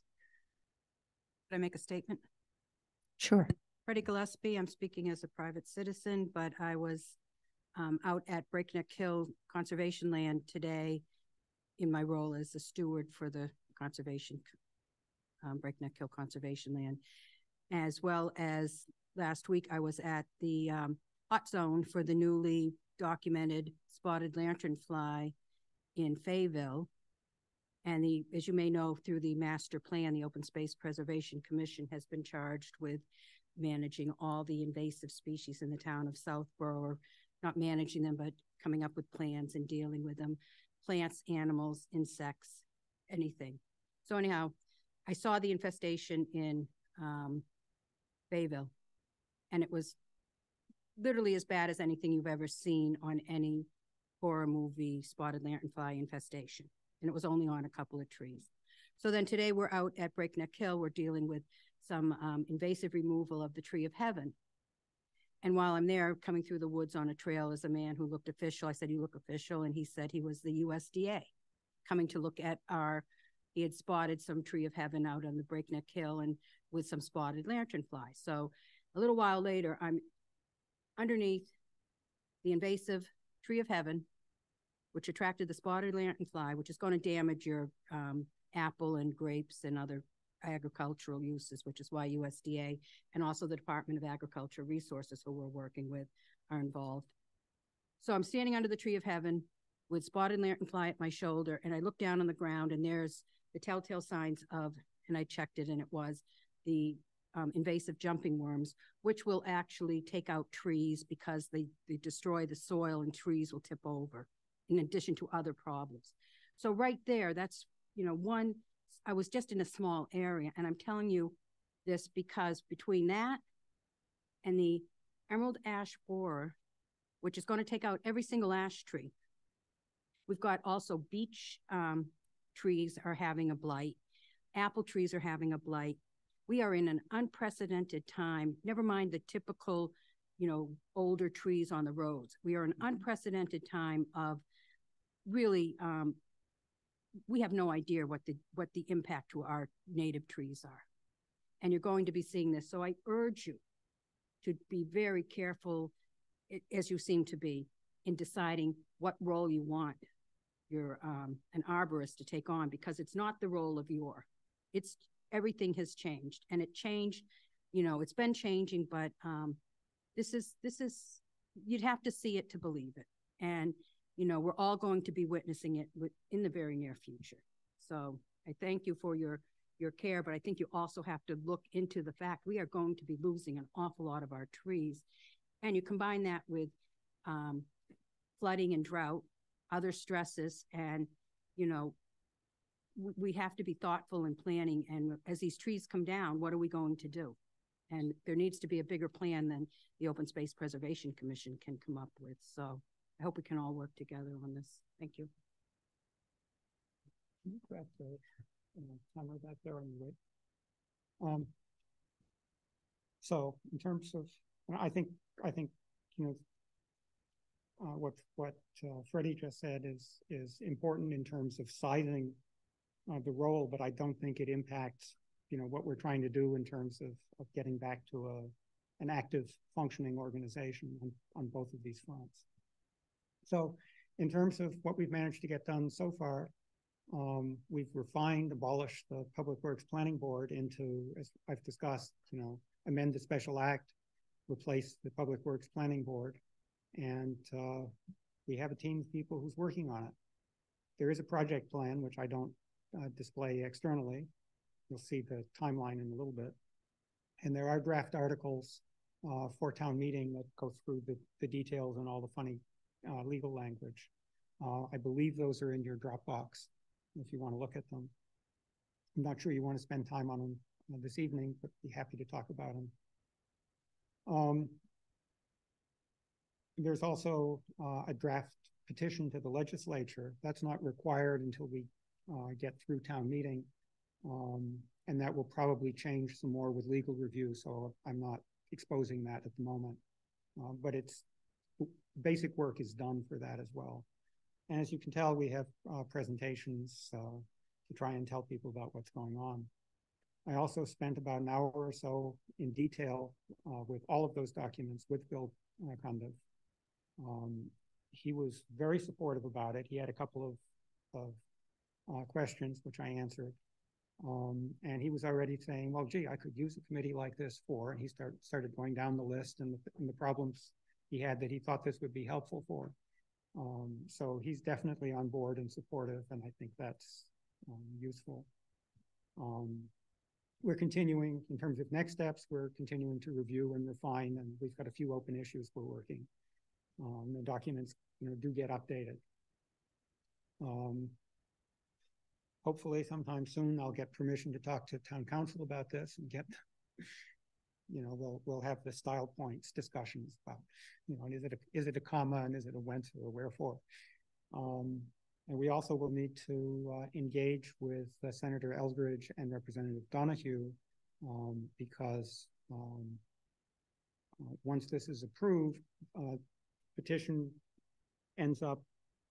What you want to have end up is a bill introduced in both the House and the Senate at the same time, and it then goes through this long uh, process. In terms of you know key dates, the warrant, as you may remember, opens on December 12th and closes on February 6th. So I'm trying to make sure that we're well in, ahead of, of that process. And then there will be some public education. So if you look at the way the legislature works, Um, it works on two-year cycles, starting in odd years. And, um, given that town meeting is going to be in, in next year in twenty twenty-four, the Attorney General might get around to, you know, uh, looking at some of this stuff in August or, um, um, September, and sometimes been later than that. Odds are the right thing to do is to submit the petition to the, to the legislature in around January of twenty twenty-five. And then we'll see, you know, if they take the full two years, if they do it in the first week. I don't know, but that's the reason for engaging the senator and, and the representative. Um, is A, to get it on their horizon, B, to make sure that as best we can, what we submit to them is what they want to see, rather than have to go back and forth with multiple iterations. The way the, the bylaw is, is, is written is that it takes effect after Attorney General review and after the special act is amended. Doesn't really matter what order that happens in, but it's likely to be that way. So here's the um, sort of the timeline that that I've laid out for this. Uh, you can see the second, you know, uh, bullet from the from the right is I'm here talking with you, and uh, sort of next up is going to be uh, advisory and capital if they're willing to talk to me, and then we'll continue on to the to the other stakeholders. Um, there'll be final uh, legal review by the time the warrant closes on uh, February 6th. And then hopefully with your help and the help of others, we'll have the challenge of voter education so that town meeting is a smooth uh, process. Once town meeting has uh, voted, I don't believe Article 1 needs approval by the Attorney General, although I'll check on that. Um, it just authorizes the selectmen to do something. It's not a bylaw. Um, then the select board has to vote to submit the home rule petition. There may be some negotiation with the legislature as it goes through the three readings and committee processes in both places and reconciliation and all that stuff. Um, and hopefully the, the legislature then enacts it, and then we get to appoint members and get it to work. And that is what I have for you this evening. I do thank you for your engagement and your attention. Thank you. Does anyone else have anything else for Tim? Tim, do you know why the select board was tree warden? Like it seems to make very little sense. Well, what I what I know is that um, there was there was sort of this this question of if you're going to merge DPW, uh, what do you do with tree warden because all the equipment is there and the budget is is there and the special act merges that in. It's not actually clear. I don't think the special act was particularly well drafted. Um, I mean, you see that in the, in the in the definition of the Public Works Planning Board, and you sort of see it when you start looking at how the tree warden stuff works. So it's not immediately clear to me that they really intended the Board of Selectmen to be the tree warden.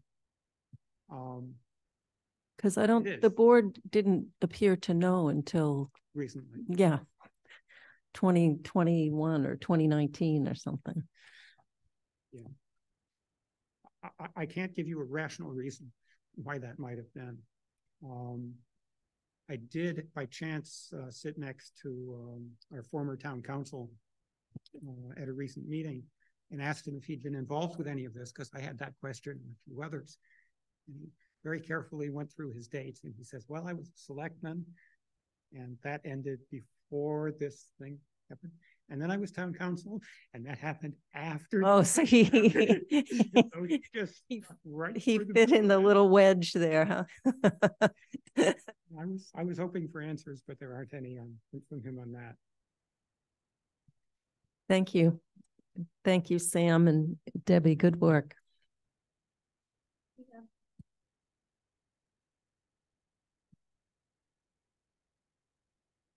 The only thing I was gonna say is that I think in the Dropbox, we did put a copy of the warrant articles. Um, and at some point, I think that we probably would want the, um, I don't think you're gonna come back again, Tim, are you? I can come back. Yeah, I mean, at some point, we want to make sure that we're happy, the planning board is happy with the wording in the articles, and so we'll have to put that on a If you, future if you have comments on, on, on the wording or the details of that, um, send them, um, to Mr. Murray or send them to me and, you know, we'll work on that. Um, I would, you know, uh, hope that, you know, when we get a bit closer to town meeting, that, uh, you folks would, uh, take a vote that says, you know, you support this so that we can put that out in front of people. So wouldn't there be public hearings? Um, no, this doesn't require a public hearing. It, it, as a warrant article, it will go before the, um, the advisory committee uh, formally, uh, this, because it's a selectmen's article, you know, they will discuss it. I don't know that they'll, um, choose to have a hearing on it. And, you know, what I've done in the past with you know, this is not the first time that I've created a committee for the town. Um, what I've done in the past for the ones that seemed interesting enough is, you know, held a forum at the library and in some of their, you know, public information sessions. I think the question on this one and something for you folks to think about is, gee, you know, how engaged are people going to be in this particular issue? I mean, it's something that you all are, are very passionate about uh, for good reason. It's something that um, I picked up because it didn't seem like it was on the right course um, a while ago. But, you know, I'm not sure if this is going to be one of those, oh, yes, you know, everyone's in favor, we'll go vote for it things, or if they're going to be people who are somehow passionate against it for some reason. That I don't, I don't know where we are on that yet. Bruno. Thanks again. Thank you very much. you. Anything else on this? Next item, public hearing, St. Mark's School parking lot at St. Mark Street, major site plan.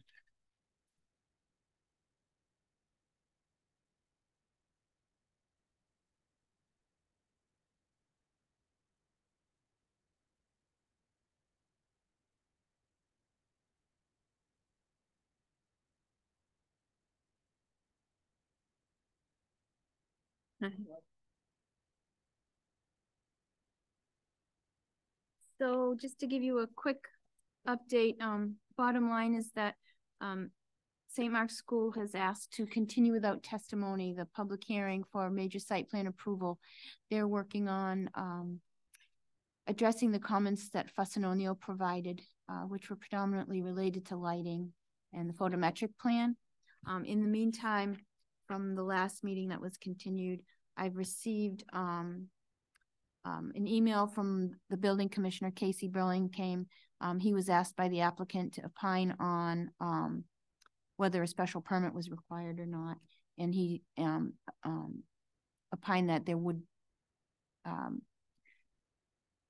a special permit is not required to go before the planning board for the parking of more than three spaces. Trying to just see it here. Uh,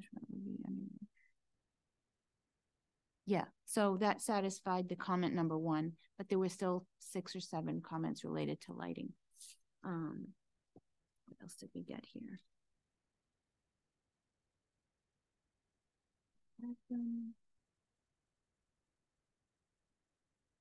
Um, Nope, so that's it. So they did request, and we have an extension request signed by the applicant, um, representative Rob Kuk- Kuklowitz from St. Mark's School. So I'd like to make a motion that the board extend the decision deadline for twenty-five Marlborough Road, major site plan approval for a parking lot for St. Mark's School to December first, twenty twenty-three.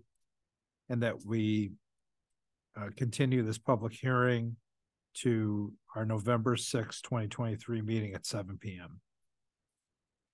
Second. I have a motion and a second. Any discussion? All in favor, Latrell, yes? Stein, yes? Houlihan, yes. Demiria, yes? Braccio, yes. All right, you just need a signature. on That.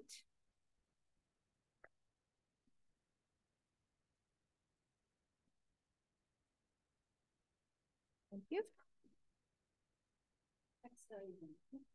Next item on the agenda is a discussion item, residents at Park Central forty B. Uh, we could just do a recap of the hearing opening.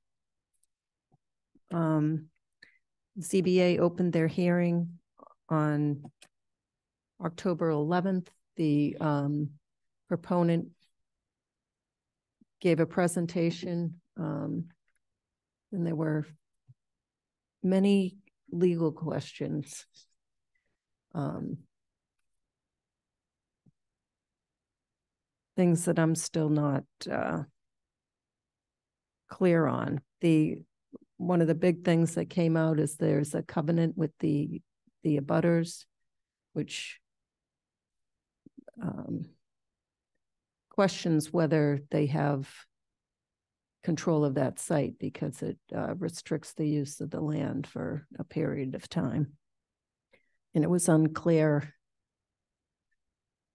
I guess town counsel wants to hear arguments from both sides. I don't know if, I don't know where we go from there. And I don't know how this plays out because I guess the next court hearing is December twentieth. And ZBA, their hundred and eighty days is over in April, so I'm not an attorney, but I think it's very unlikely that on December twentieth, there'll be any decision on that. So it will probably still be up in the air when the ZBA has to uh make a decision. And I don't know if they can condition it. I, so that's one of my major questions. Um, the other issue was on the subdivision. Um, so Karina, David Williams, uh, Jay and I had talked briefly about the process.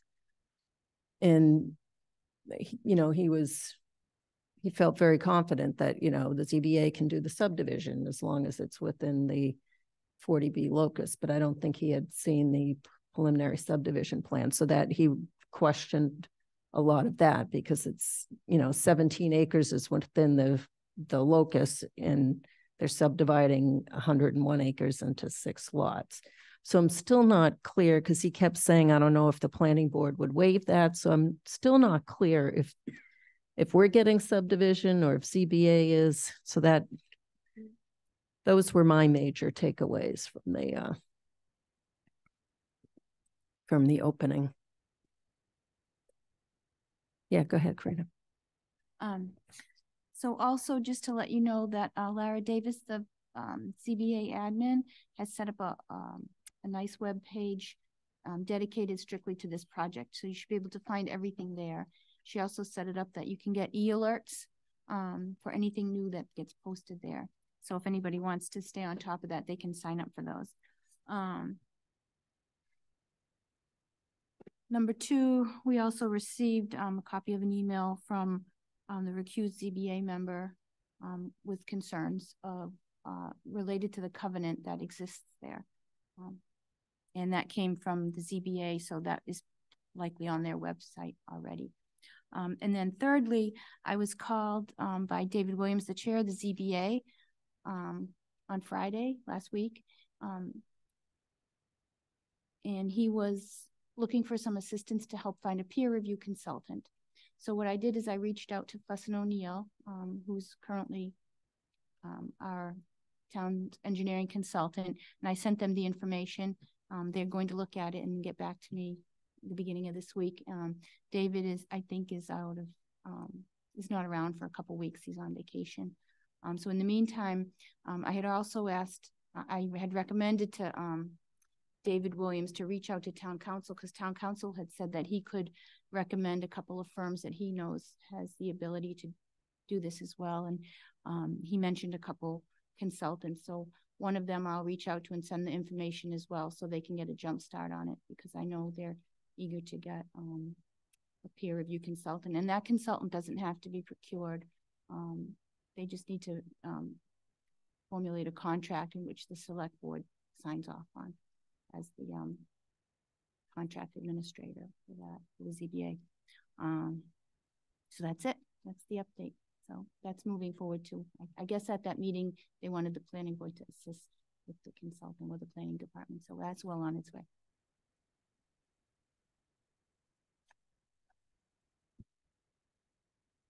Mr. Stein. Ms. Houlihan. Thanks. Um, yeah, I, so first of all, I thought the zoning Board Board of Appeals, um, the meeting was really well run. I think they are, you know, really prepared for this and um, seemingly collaborative and just the way that they've already um, had outreach and and the way that David um, Williams, uh, the chair, is running that. So I was pleasantly surprised by the um, not surprised, but relieved, I guess, that it's a collaborative process up front. Mimi, I would agree with you. Um, I was not in the room, but I was on the Zoom meeting, and I, very um, it almost was like a litigation happening amongst uh, the two attorneys in the room, one on the Zoom and um, and our own town counsel. So I think there's quite a lot of legal questions. So hopefully they can figure that out because um, there is a worry, and I think uh, Miss Meath summarized it nicely in her letter um, that there could be some town implications if we proceed with having these conversations. If it truly is, um, you know, the covenant is suggests that, that he can't have conversations with the town. So having some resolution will be important. Um, but I, I thought it was overall a, a very well run um, meeting. Mr. Maria. No, I have to agree as well, and I don't have any other comments. I, I found it fascinating uh, to watch. Um, but there's a lot of legal questions. Some of them this board has already identified and, uh, have to see how things play out. So, thank you. I just wanted to mention quickly that the planning board was asked to attend via Zoom because there are uh, capacity limitations in the public safety room where the hearing was held. Otherwise, the planning board would have been there uh, in person. Uh, Ms. Braccio. Thank you. Nothing further to add. I agree with everything that's been said. Um, and hopefully they'll just continue to move forward in the positive light. Um, and collaborating with the planning board as well. So that's all. Thank you.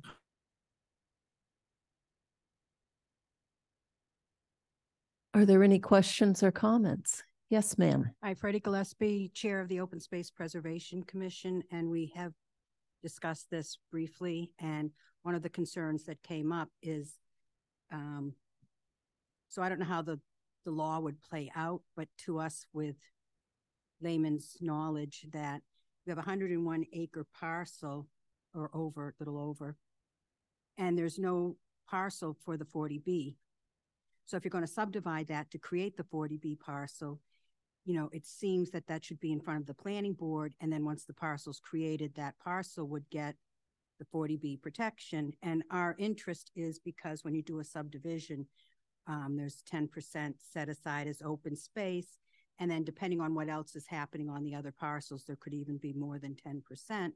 And it would be how that ten percent is set up in the language for the definition is, you know, coherent and, you know, so it's not a little speck here and a little speck there. And, um, you know, the one nineteen point seven acres, that's about two acres versus out of the ten that we would get approximately for ten percent, right? But it makes a difference when you have a ten acre parcel.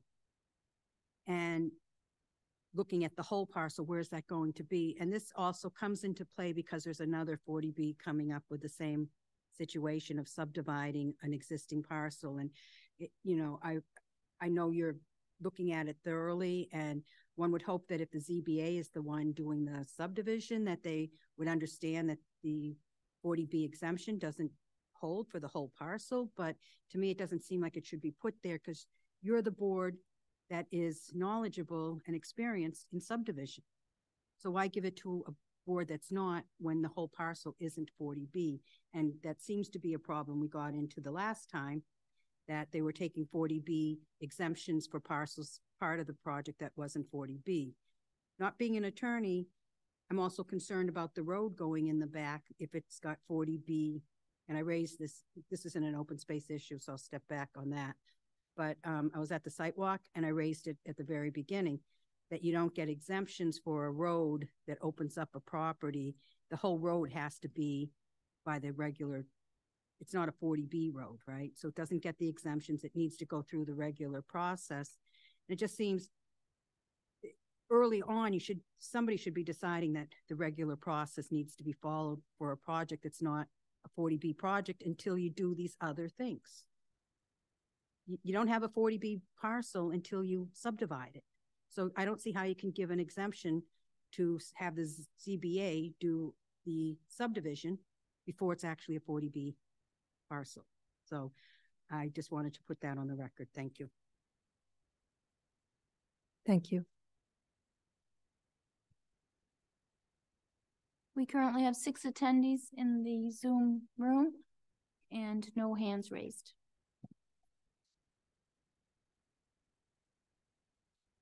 I think I asked, did I ask you, Lisa?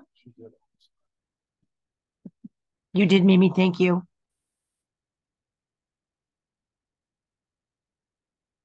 Anything else on this? So I don't, I guess we just kind of stay on top of the, the subdivision and, and see what happens. That was the exact question that I asked town counsel. I'm not an attorney, but in my simple mind, it seemed to make sense that the subdivision would come to the planning board, would approve the subdivision, and then the ZBA could waive um, any regulations on the forty B locus that uh, made the project, you know, difficult to construct. But as I said, I'm not an attorney, so we'll see. Um, evidently, our town counsel has significant concerns with what they put forth, so we'll see what happens there. I don't have anything else, do you? Okay, No, that's it. we will move on. I'll continue to forward any information to you in case you don't get it in a direct email. Great, thank you. Next item on the agenda is a discussion item, public shade tree policy and the proposed select board updates. So quick, just to get you oriented, um, I had asked Sam Stivers to, um, send us a copy of the most current version, and I distributed that to you folks, and, um, I had mentioned to Mimi that there was part in, um, a small phrase in six E that was included that you had requested. Um, So that's been in the Dropbox for your review, and I think that it was continued to the October twenty-fourth Select Board meeting. Yes, so um Sam Stivers, Al Hamilton, Lisa and I worked on um making some requested changes to the public shade tree policy. Um Sam had felt that the requirement for native trees was in conflict with um our code. So he um had removed the reference and uh we instead of removing the reference, we had um, put in that the trees must be on the uh, 2019 Southborough tree list with a preference for natives. And the um, the Southborough tree list is all natives or native cultivars. So no tree of heaven on the list. So I guess um, I would ask the board if they're um, in favor of the, the policy as is, so we can report to the, uh, to the select board. Mr. Stein. Uh, I'm gonna defer at this point. I'm not hundred percent committed one either way. Thanks. Ms. Houlihan. Um, Mimi, uh, I know we, we've gone back and forth and there was a second iteration where you had requested. So with the last change, is that where they've added that in? And so you're comfortable with this last round of edits? I would support this last round of edits. Mr. Maria, Yeah, I, I support you as well. Thanks. Ms. Braccio, Nothing further other than to say thank you, Mimi, for spearheading this. thank you. So do, you should we just vote that we support it? Uh, so moved. Second, I have a motion and a second. Any discussion? Seeing none, all in favor, Latrell, yes? Stein, yes? Houlihan, yes? Demiria, yes. Braccio, yes.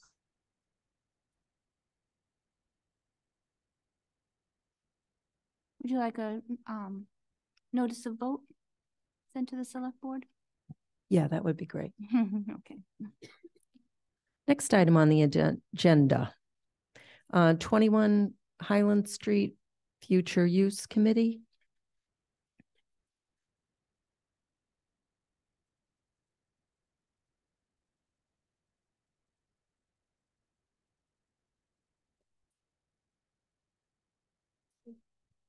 You keep it all in your head so nicely.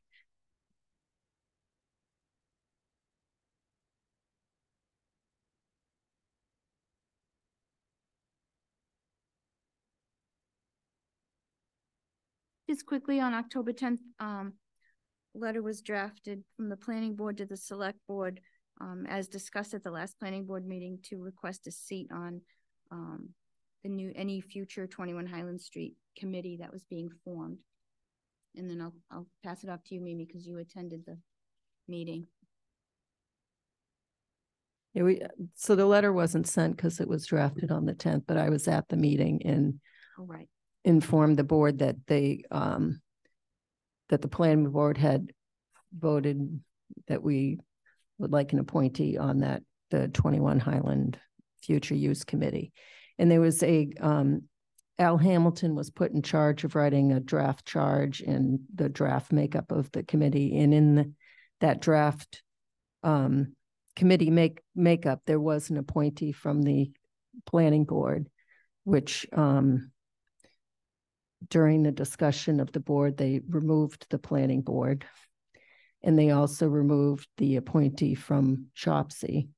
Because they want, they um were concerned with nine people on the committee and they wanted it seven, so they couldn't um. Well, a couple things, the the chair said he didn't know why planning board wanted to be on it. And he also said that we were had a member on the previous twenty-one Highland committee, which there was not an planning board appointee.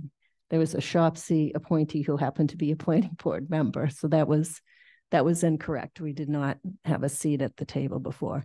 I did, um, say that when I informed the select board of our vote, that we are the elected board in charge of future planning for the town, which is why we wanted to be on the, the committee, but that, um,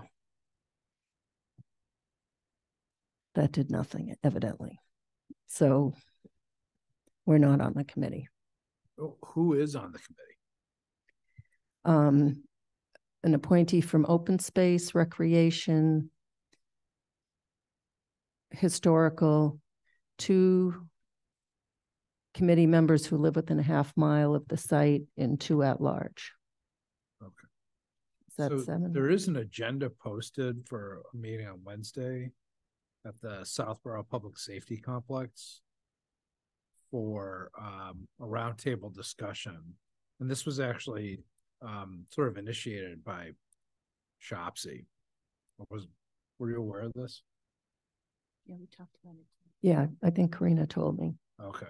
When is that? So it's, this is um happening Wednesday at seven P M. Um, and there is a, a Here's the agenda. there's a virtual, um, It's just not posted here, but that's the agenda. has not, has that not been posted? Uh, well, I didn't print, I didn't look if it was posted yet, but I received, it, Oh. so ahead of time. Thank you, Mr. Litt. It is posted.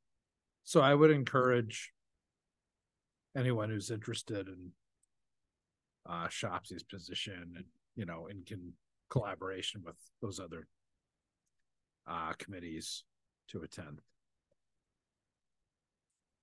I think the select board has determined that um affordable housing can't go in that building, so they um. I think that's why Shopsy was also jettisoned from the committee. Ms. Houlihan, No comment. Mr. Maria, No comment. Ms. Braccio, Um, one comment, just it's, um, a little disappointing And I'll leave it at that. Thank you. Anyone in the audience? Wait, no. Anyone on Zoom? Oh, sorry. We have six attendees in the Zoom. No hands raised.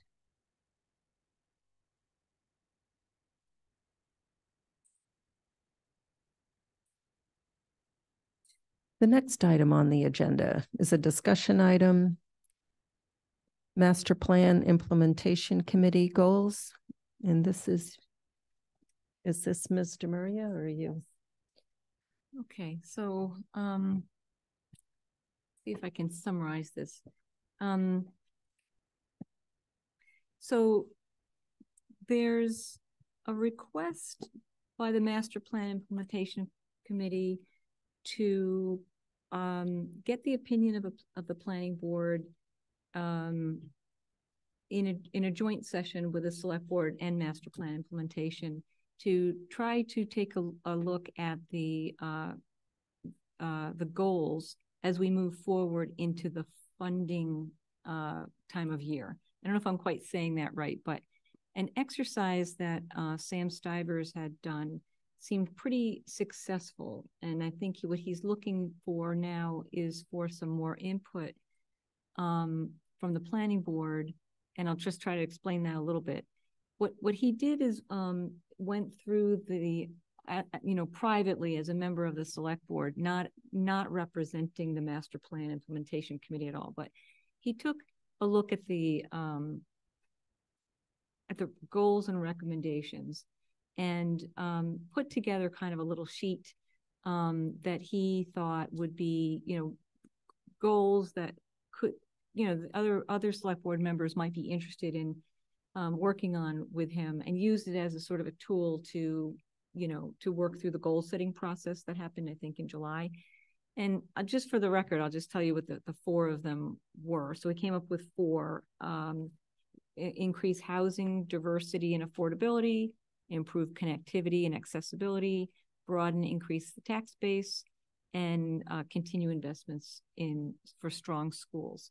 So, you know, his, some of his um, thoughts and um, recommendations, I'm sure, were taken into account. If you look at the select board goals, they have themes of this running running through it. So the the next wave is really um, for the the select board to start um, the the uh, you know the fi- financial part, I guess, for for the year, right? Um, funding and that sort of thing. What we realized on master plan implementation is that there are some committees that have really great goals, but they don't have any funding, and they might even be long-term goals. So then say, well, it doesn't matter because that's a long-term goal. But what Mr. Stivers brought up was, I'm not sure if I'm quite saying this right, but that it, it could be that there's a funding opportunity now. They, I think they, they have a, a consultant that helps them with funding opportunities. And so in, uh, I think the spirit of goodwill, he is saying, well, you know, it would be really nice to hear from the planning board to see if we had priorities in our goals before they go through the, um, the fund, sort of, you know, the funding um, and financial aspect of funding some of these goals. Um, as a master plan, we take no uh, implementation committee, we take no position. So, um, you know, there's there's no, um, I guess, you know, I didn't poll anybody on the master plan implementation committee to see, you know, what do you think should be prioritized? Um, but I think as a planning board, um, the idea that the planning board might have an opinion may not line up with Mr. Stivers' goals and what he presented to select board, but it could be that the planning board has our own set of prioritizations. And so what uh, Mr. Stivers is thinking is that we would have a joint meeting between uh, planning, uh, select board and master plan implementation. And that meeting has been difficult to schedule because um, evidently, select board is not able to meet on the planning board timeline. Um, and Colleen was helping out with trying to get some some meeting going. Um, but I've I've not gotten back to her yet with um with any particular dates. So it's kind of a long way of saying, I think that the idea that um, he's interested to hear from the planning board is very nice. And um, as a planning board member, I have some ideas that are different than Sam's. but um, I wanted to know if it's something that the planning board is interested to do. And I hope I explained that kind of okay.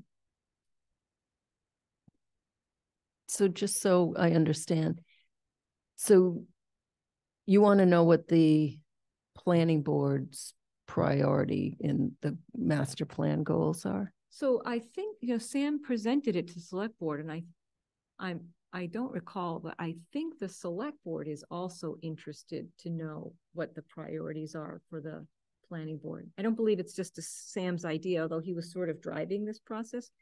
Um, but I think he wants to be more inclusive and understand if we have any particular priorities. And of course, the way he did it was to take a look at all of the goals and recommendations and looking for common themes and then what we call affinities. And he came up with the four that I just read. And now the planning board, if we choose to do that, may or may not have the same kind of goals. So it's it's really just an ask Okay. at this point. Mr. Stein?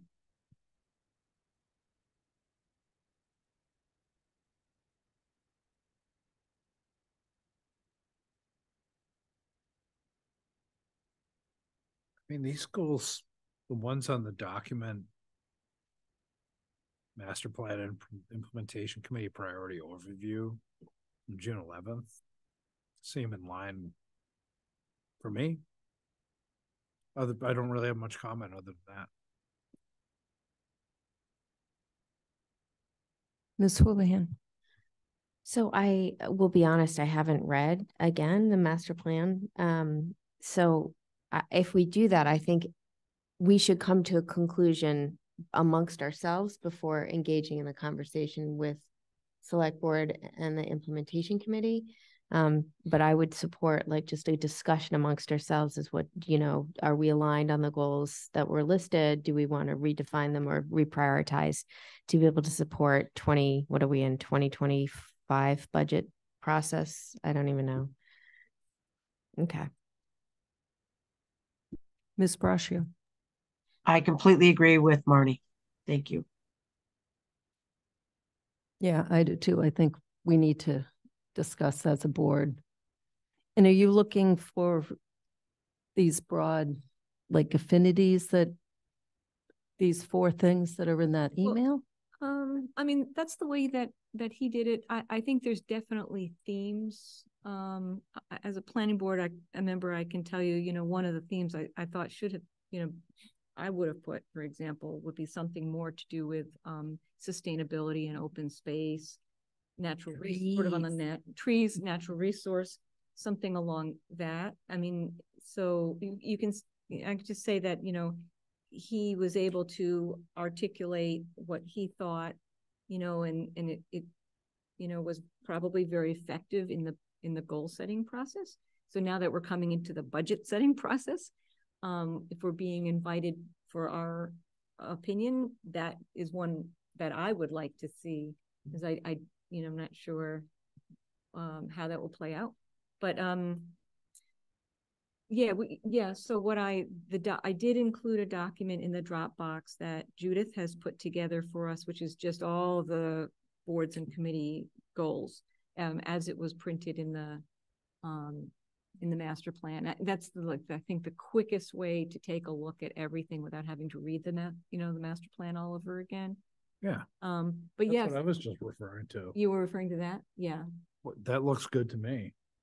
How did it get boiled down to four things from So, that? so, so that was Sam Stivers that, um, that did that in, in, in his participation in the goal setting process. Those were the things that he wanted to see and he linked them to the goals that were in the master plan.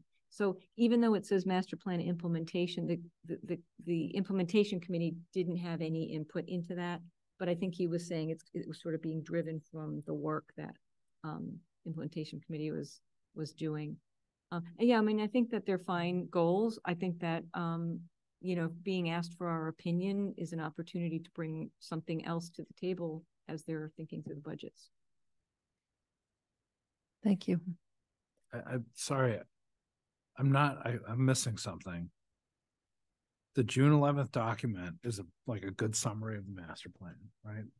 That, And then that- somehow Sam trims it down to four things.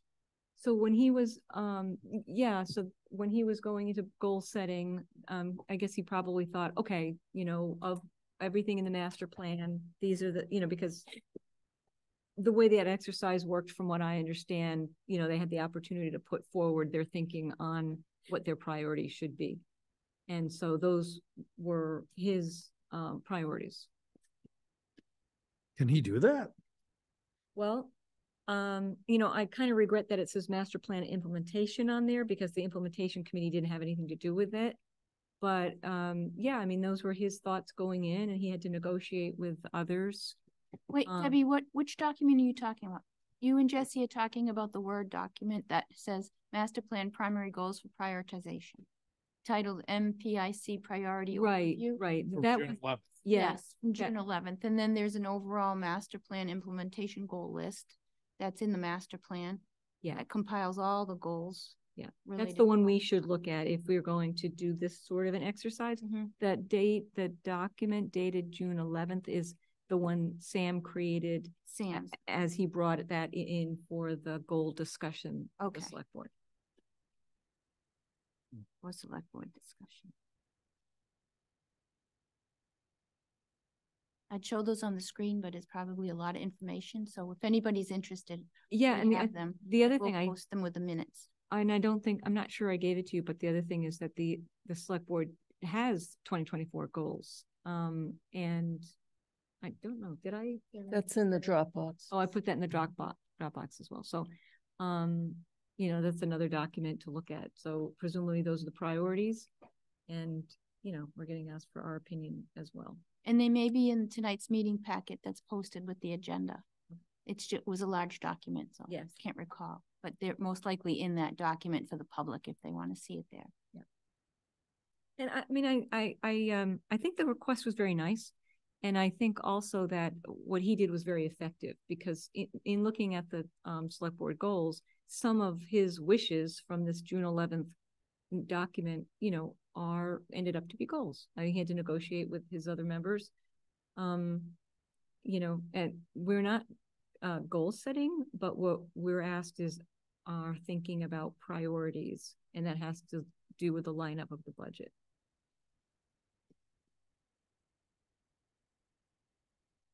So is it possible to maybe sequence that to have just a, a discussion amongst ourselves to kind of come look, spend time on the master plan, the bigger document, not the June eleventh, which I think is now biased.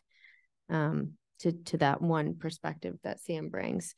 And then bring up our conversation and then sequentially, maybe after our next planning board, try to find a, a time that works between. You know, whatever, three and three of us. Like November twenty-seventh. That's the next meeting after November sixth. I don't think their schedule lined up with ours. I think we had to find a separate time is what Deb was suggesting. Yeah, I think there's con, I was There's told there's conflicts. conflicts for the next several, I, I didn't check exact dates, but I think that there's conflicts with some of the members on our, on our meeting dates. We'll have to pick a different day. Hmm. Anything else from the board? And just confirming that the, the, um, the goals list that we were talking about are, is in the meeting packet for tonight, so the public can go right to the, uh, planning board agenda location and it's there. Yes, ma'am. Hi, I'm Freddie Gillespie again, and I'm on the Open Space Preservation Commission, not speaking for the commission because we didn't know about this. But I wanted to give you a perspective that if you're moving forward on this, maybe somebody should talk to all the boards and committees and commissions that have been charged, because um, we had a representative on the master plan committee. Did you meet for like three years? And our Open Space Commission regularly reviewed what was going in from our representative to your, to the master plan committee, as well as participated in public um, meetings on it. And we thought that the master plan came out with the goals and the priorities. And now I'm very confused because another thing that happened is some of the things that we brought forth during the process, um, we weren't planning on being in charge of it. We were just saying this needs to get done. And then when the implementation happened, it was like, well, you either need to take it on or we will take it out of the plan. And then we were very concerned about that because we're not a department, we don't have staff, and we were assured that we didn't have to actually necessarily do it, but facilitate getting it done and that funding and, um, and, and resources would be made available to our commission so we could move forward. And I will say, since, um, the master plan came public and we have our charge and our marching orders is how it, you know, seems how we've treated it. We go through it, we've gone through it, we're working on, you know, implementing, like one of the things was the invasive species. So we're working before the law spotted lanternfly got here. We actually thought the emerald ash borer was the big deal, but we're working with DAR, Department of Agriculture Resources, to do a, a workshop, right? So we're being proactive.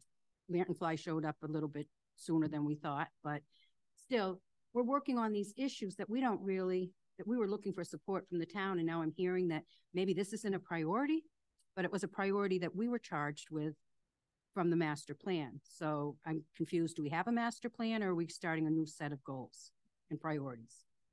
And I'm just asking that maybe you talk with the, the committees and commissions that are actually working on it and thought they were going to get some support to help move this master plan forward. Thank you. Mimi, do you, do you want to address that? I- I No. tell- No, well, I can tell you, um, that, I'm not on the implementation. well, yeah, the implementation committee takes like no, no position because it, we feel like it's not our role.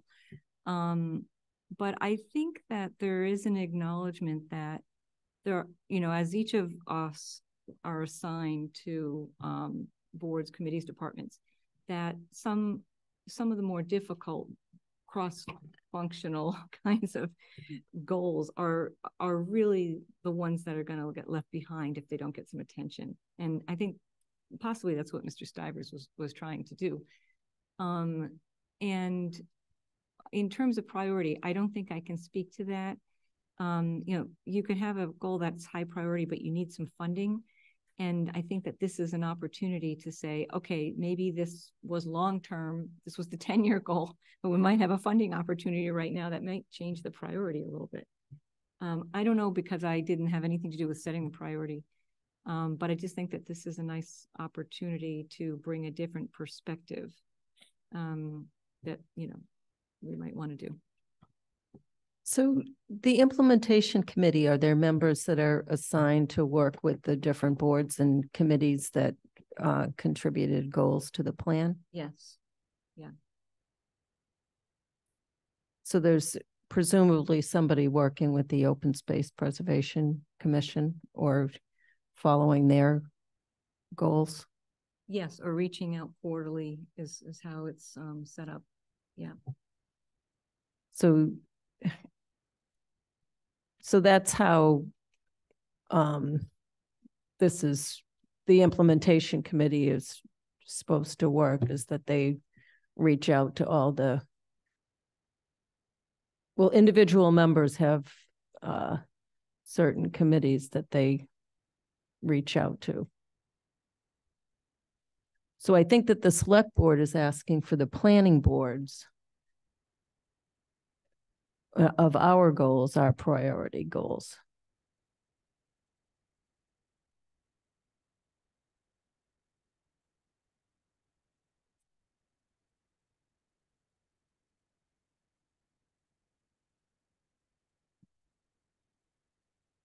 And I know that sounds, you, you know, you have to move forward somehow and you have to, you can't fund everything. But shouldn't that have, I'm just throwing this out there, shouldn't that have been looked at when we set short-term, long-term, midterm goals? That if we, if the master plan, I had confidence, thought that these things could be achieved within those timeframes. And when you start setting priorities amongst the already existing priorities, some of those are going to drop off. And I'd just like to know if I can stop doing some of the work because we're working really hard. And I wasn't hearing any natural resources or open space on that list. And if we're not going to get funds to do it, we can't do it. So why are we, you know, banging our head against the wall. Yeah, so just to confirm that, that, that, that is the, um, that's, that was Mr. Stiver's list, but, um, it made its way, you know, some of those sentiments, goals and recommendations made its way into the, um, select board goals. Um, but I, I take this as an opportunity, when I looked at that list and I said, gee, there's no open space, there's no natural resource, there's no sustainability, and I know that, uh, you know, all ranked very high in the, um, surveys.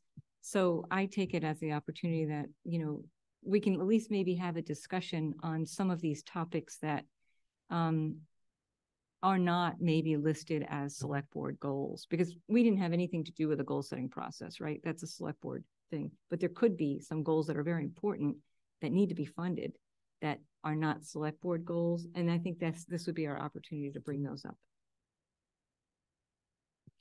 And the answer is no, you can't stop working really hard. Um, and I wouldn't, as you know. We've, we've done an awful lot when we had a hundred and fifty dollar budget. So I just don't want to see that, you know, in planning. And I guess the confusion is, is the master plan is the planning board's document. And the selectmen are talking, it sounds like creating their own separate priority list of some of the things within the master plan. And hopefully what my ask is that the planning board, when you talk to yourselves, maybe talk to the committees that are charged with doing the work because, you know, if no one talks to us, you don't know what we're, I know there's an implementation, but you know, how many months has this been out there? The implementation committee? Eight Yeah, so, you know, it's not, it's not as, I mean, we talk about this every single meeting. And, you know, we're not writing up reports because, you know, then we wouldn't be able to do the work we're doing for the implementation. When she asks or comes to us, we would tell her, but I'm assuming that other committees may be doing the same sort of thing. And maybe they would like to be considered for funding for some of the projects they're working on. If, but if no one asks us, but it sounds like there's a I don't, I'm hesitant to even call it parallel track because you have a master plan and then you have this other thing that might have some of the goals of the master plan on it, but I didn't hear any of the things we're working on it. So that was what I just wanted to make you aware of. Yeah, and I'll just say uh, one last thing is that as we um, continue to work with the different committees, we are starting to understand that, um, uh, like for example, I work with Leah on the EDC, and I heard for the first time also that she has, you know, she's talking to the EDC about um, housing choice and that they wanted to develop a position. And uh, one of the things she said, is, well, you know, probably have to, you know, do something with a, a another grant to find more information of one, maybe that was the one-stop grant. I'm not exactly sure what she said. So that's an op, that's a, that's an example where um, something presents itself, MBTA communities, they took that in, they said, okay, in order for us to have a position or maybe tick a few things off of the, uh, the goal list, you know, we're, we're probably going to need to ask for a grant. And so that would be an example, I think, where the select board may know, may want to know, you know, do, you- do you need money to do that sort of thing? On the master plan implementation, that's a question we haven't really been asking yet because as we rolled it out, we only recently started hearing back from the committees. I can't do this if I don't have any money. Yes, we heard it from your committee, to be honest, Before you rolled it out. before you rolled that. Yeah. Yeah. So. And I know not, the town's not made of money, but if you're setting priorities, I kind of thought that the master plan already kind of did that. And I don't know. There's two hundred goals and recommendations. I'm not sure it did that. Can, can you confirm that, Mimi? I don't think they're prioritized. Well, in, in time frame. Okay, short term, long term, and yeah, yeah, and mid, midterm. Okay. Yes, ma'am. Uh, is this mic on? Can you hear her?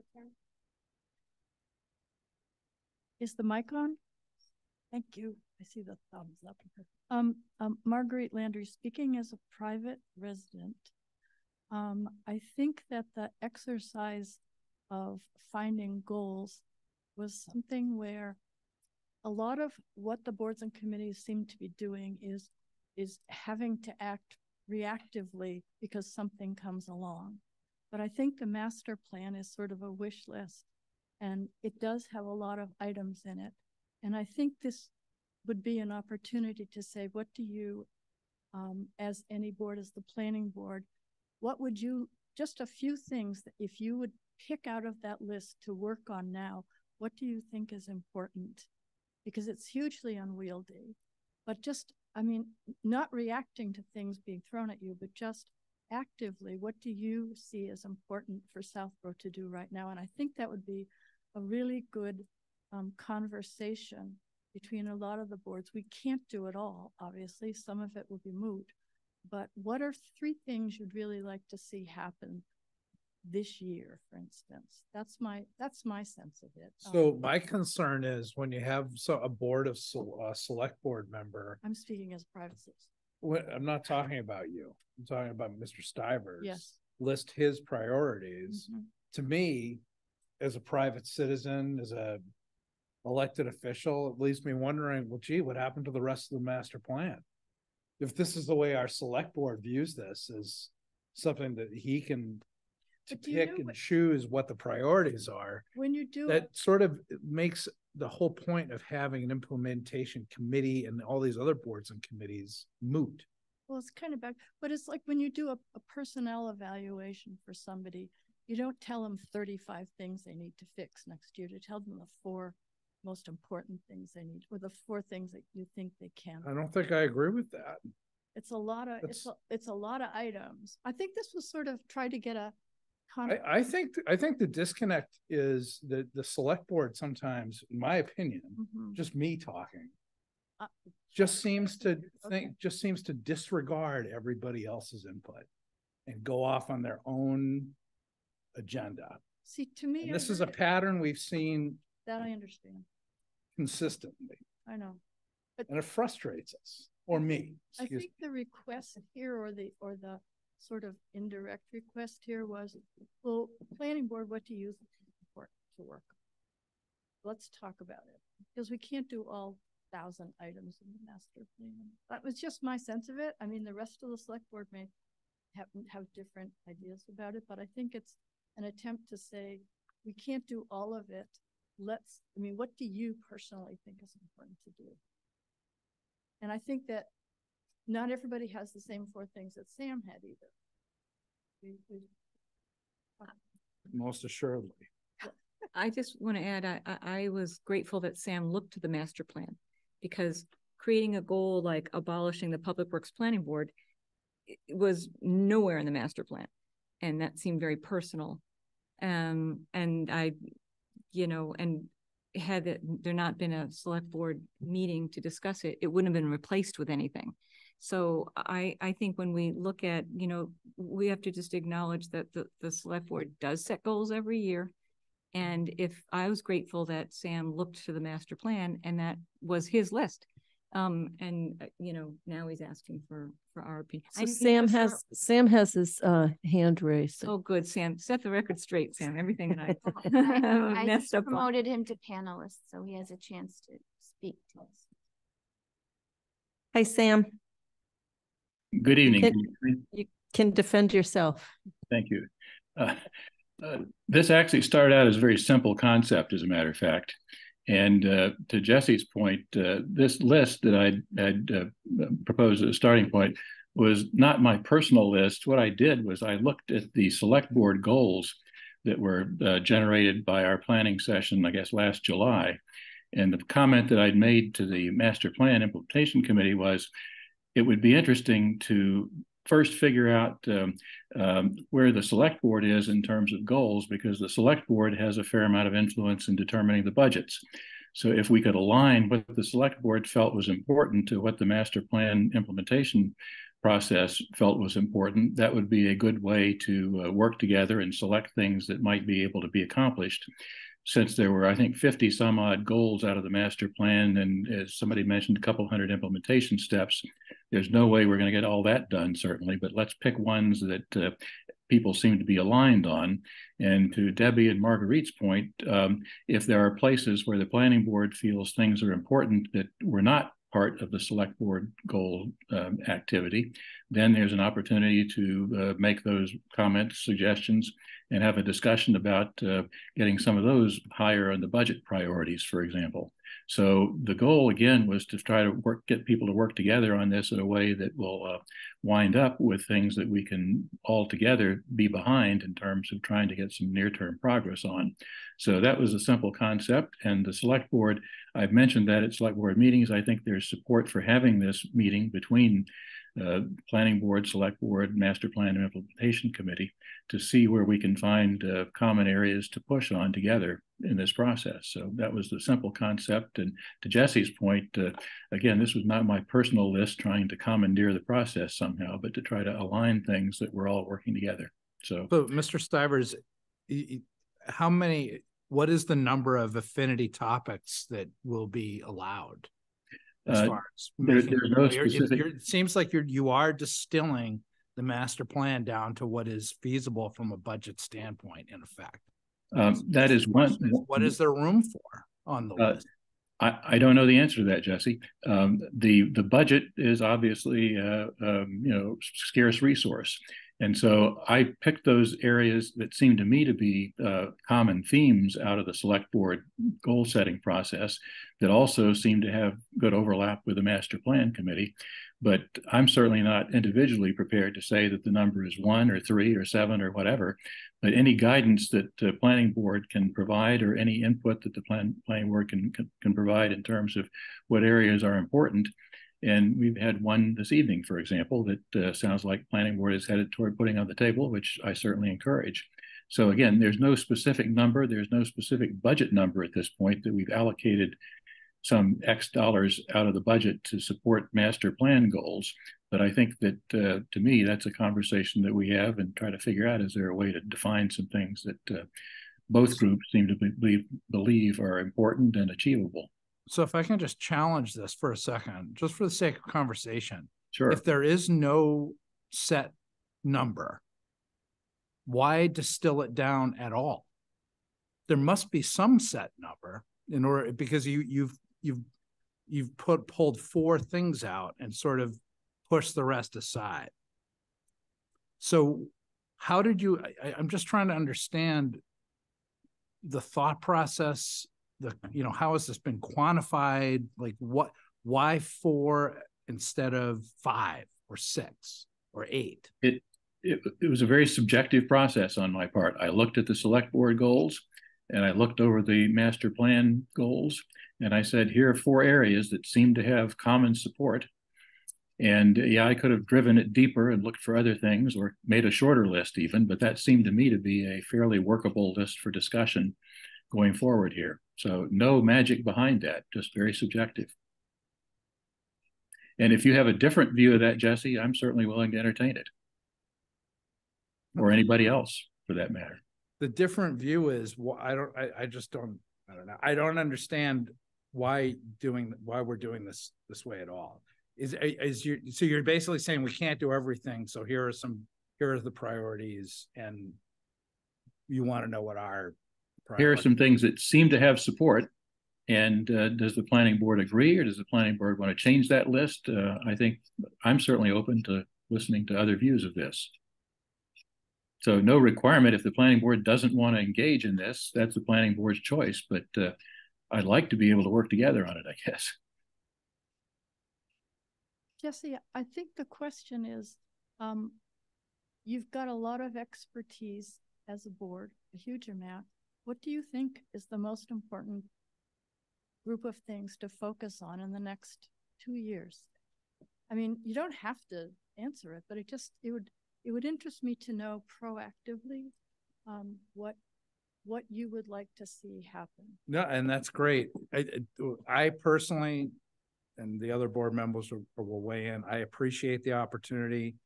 Um, I hope that we're not just spinning our wheels and wasting time. I hope that our input is actually considered and, you know, makes the list. I hope we Maybe- make the cut. Maybe one goal Sorry, I'm- would, would be to see less frustration between two major boards. Well, we appreciate that. Thank you. I appreciate that.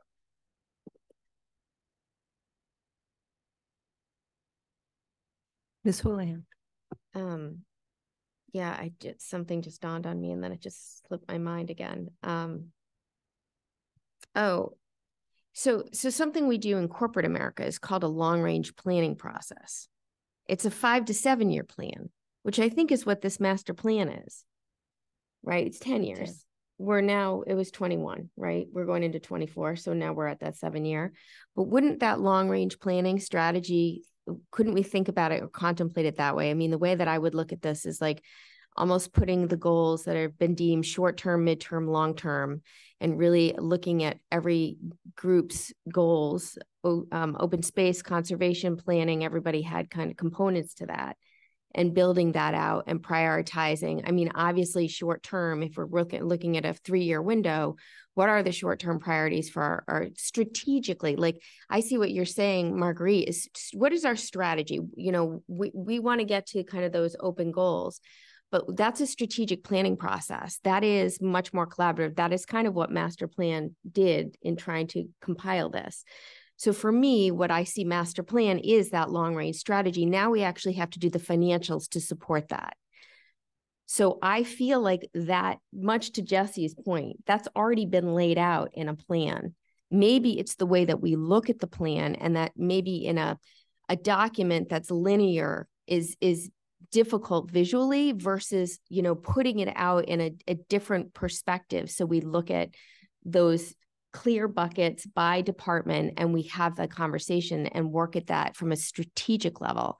Because i just think we're kind of tactically like just like throwing a lot of noodles at a at a wall right now that might not help. And so but i do think if we pull ourselves back from the bigger picture and, and to jesse's point. So i think i'm i guess my perspective would be to look at the master plan kind of say, suggest what we did before is come back and discuss it. I think um. Gillespie, with your recommendations of going to the different, you know, let's let's have each, uh, you know, chime in with open space and conservation because everyone had to deem their short term, midterm, long term. You must have a budget in mind. What what is it going to take to eradicate some in, invasive species? What does that look like? Have we as an i don't even i don't even engage in our budget planning process as, as a, a, a town. It seems very limited and very um, um, you know two year focused. If we thought about that in a much bigger scale uh, we can't change that this year but can we start maybe thinking about it that way and have the committees think about that short term long term and maybe think about it in that one three five year if seven years is too late so that's kind of would be my suggestion back to the select board and Sam to your process. But I think it's it's it's it's been laid out in the master plan. I think we just need to look at it a little bit differently. I applaud your approach to try and refine it so we can get to something, but I don't think you should granular make it so granular that it's a one year event because some of these things will need funding over three to five years. Mm-hmm. Mr. Litt. Tim Litt with Road. Um, as I listen to this, you know, I've, I've spent a certain amount of my life in corporate America and long range plans and trying to figure out, you know, what, what on earth we're going to do um, as well. I mean, it seems like there's a, a, an intermediate step that's missing here. And that, you know, you know, the master plan went out and said, um, here are things that that that we think should be done. And there was a sponsor for each one of them and sort of a description of what a nice end state would be. If I were trying to, to you know, sell this to a, a board of directors or an investment committee or whatever, the next thing I would do is go down each one of them and say, um, what would it take to accomplish that goal in terms of time, people, and money? Then you can have the conversation of saying, okay, this is the size of, of, of the problem. Now, what can we afford to do and work the next step? But as far as I can tell, the master plan stopped with the, you know, here are the desirable end states and why we think they're important. I thought it would be the job of the implementation committee to you know, go back to the people who would have to uh, implement each of those things and say, okay, what would it take to, to achieve this goal? Because that's what you have to go to advisory and uh, selectmen and, you know, the rest of the budget process with. It's not going to happen because you think it's important. Um, it won't happen if you don't think it's important. It's just, it does, it's not sufficient to say it's important. It's, you have to take the next step and say, because it's, you know, whether it's important or not, this is what it would take to get there. Now, given, you know, the importance, how do you match that up with available resources? Because, you know, even in the corporate world, we end up, you know, hitting, um, you know, financial limits or resource limits, and we have to then sort things out. But we can't do it unless we know what we think it's going to take. And then, you know, people like me argue with other people about, well, you know, I think there's technical risk here. I think there's, you know, legislative risk there. Um, you know, how much, you know, what, what does that resource pool really look like as opposed to what do you wish it looked like? And then you go to the next step. And I think somehow that intermediate step is being skipped in this, and that is guaranteed to result in frustration.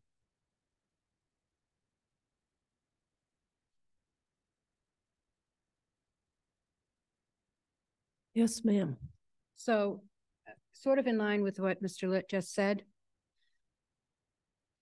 I would have looked at the master plan and, you know, my takeaway is this is the master plan. We didn't call it the master, I have a dream or a wish list. A plan is a plan and, and when they developed it, they thought it was doable. And not everything on there cost money. So to say, oh, we're going to put money to this area without knowing what actually needs to be done. So with budgets, because I know we have run into budget issues, right? But we were told, you know, maybe there'd be someone to do some grant writing. I can't do grant writing and get the work done. You know, if we, you know, somebody to go out and look for the grants. I mean, this has been talked about over and over again, but it always seems that the open space issues never get looked at when someone's going out to look for grant money to see, you know, what's needed. And we're not staffed. So we can't be looking for grants, writing grants, doing the work, and we'd get a lot of work done pro bono, right? So I find, and it doesn't just happen. There's time, a lot of time developed. I mean, a lot of time invested in finding someone pro bono who's going to come out and do a workshop and then having to plan all that. You know, other departments, when they're planning a workshop, they have someone who's making the calls, setting up the room, getting the materials. We're doing all that ourselves. So talk to the commissions and committees and say, you know, how how could you be helped? And is it a funding thing or is it some resources or is it a grant? Not everything costs money, but there is support that's available. And to just take a list and say, well, we're going to fund this and not that, just seems short-sighted to me. And it's leaving out some really major components, no matter which ones you pick. If you pick open space, you're leaving something else out. I'm not saying it's just us, all the boards and committees.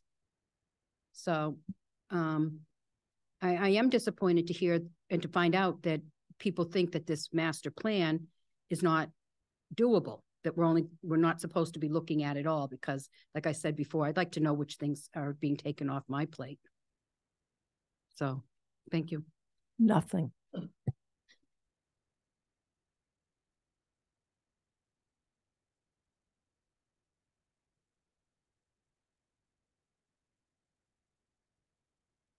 So does the planning board want to have this discussion?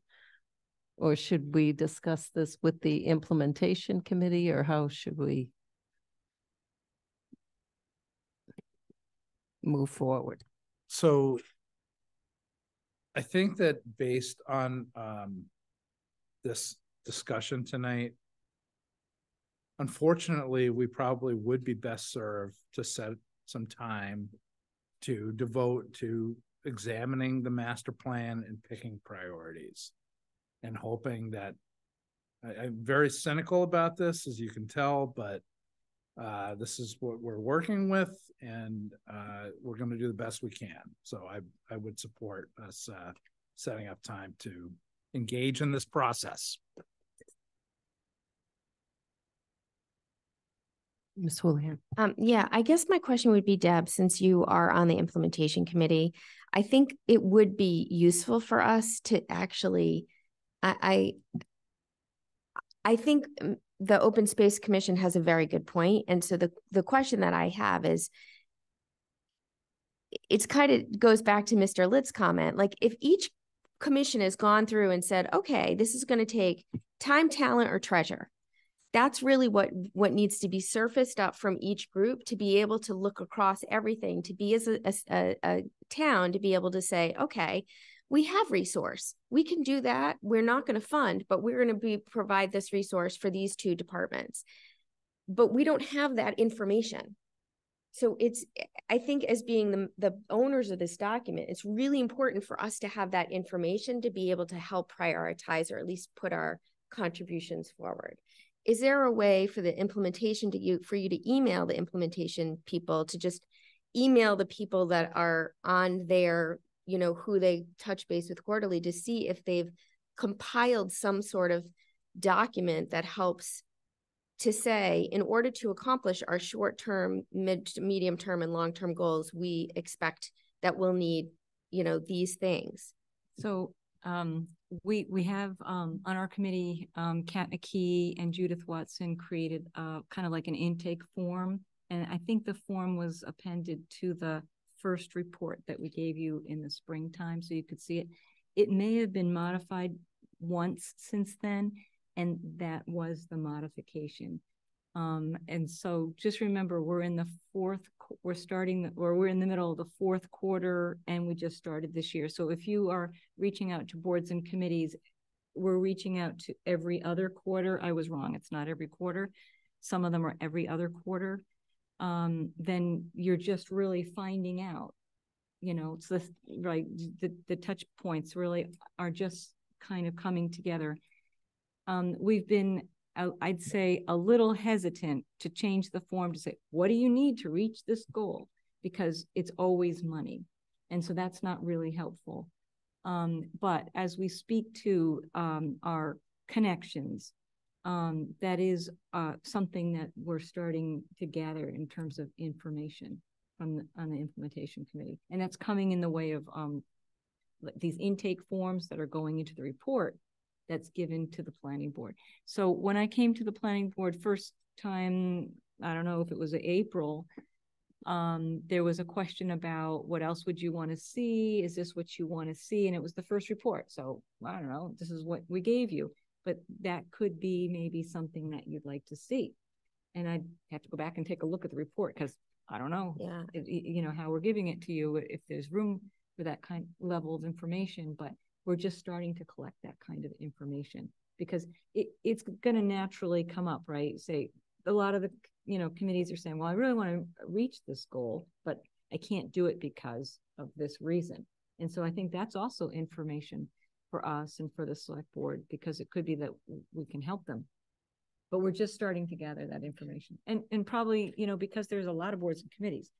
Um, some members are in different places with with theirs but I would say into this process, this is about the time where any individual committee or department realizes, uh-oh, you know, it's, you know, getting late. And, you know, how did it get to be 2023?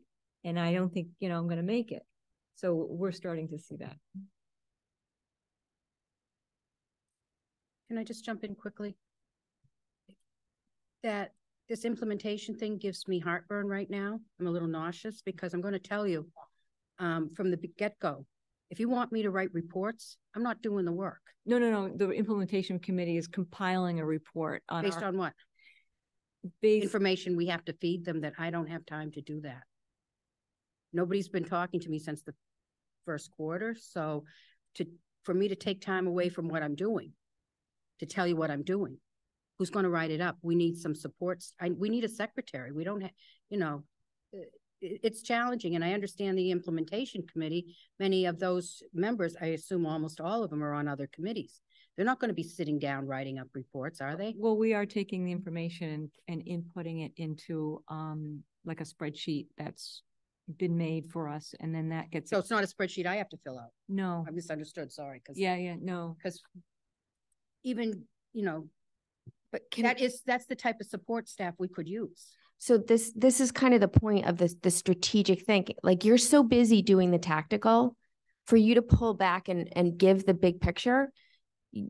That I, I think it's helpful for you to pull back to give the big picture to help understand. So I can hear you say, I need a resource that I'm never going to be able to do that. I'm on the planning board.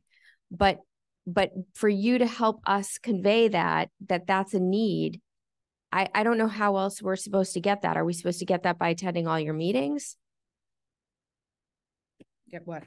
Information to help you, what, what helps you implement your plan? No one's asked us what we needed to implement. We're just doing. So this is the first I've ever heard of, you know, it- we have a list of what we do and we're just doing our best to get it done. And now I'm hearing there's a discussion on who you're, who's going to get resources to do their work, but no one's asked us what we need. And we didn't, I know it's a chicken or egg thing, right? yeah, I mean, But- it's good information for, and I'll, I'll bring it back to the. Yeah, plan I think it's more on like the, I think we have purposely input. avoided asking the question because if you say, oh, do you need money to accomplish this? Uh, You know, that, I know, not a leading question, but, um, but that is information that is probably coming in from Well, the it's not even, do we need money? It's like, how, how are you going to, you know, how are you going to make this happen? We're just, so I'm, we're just making, we're just doing the best we can to get things done as fast as we can. Mm.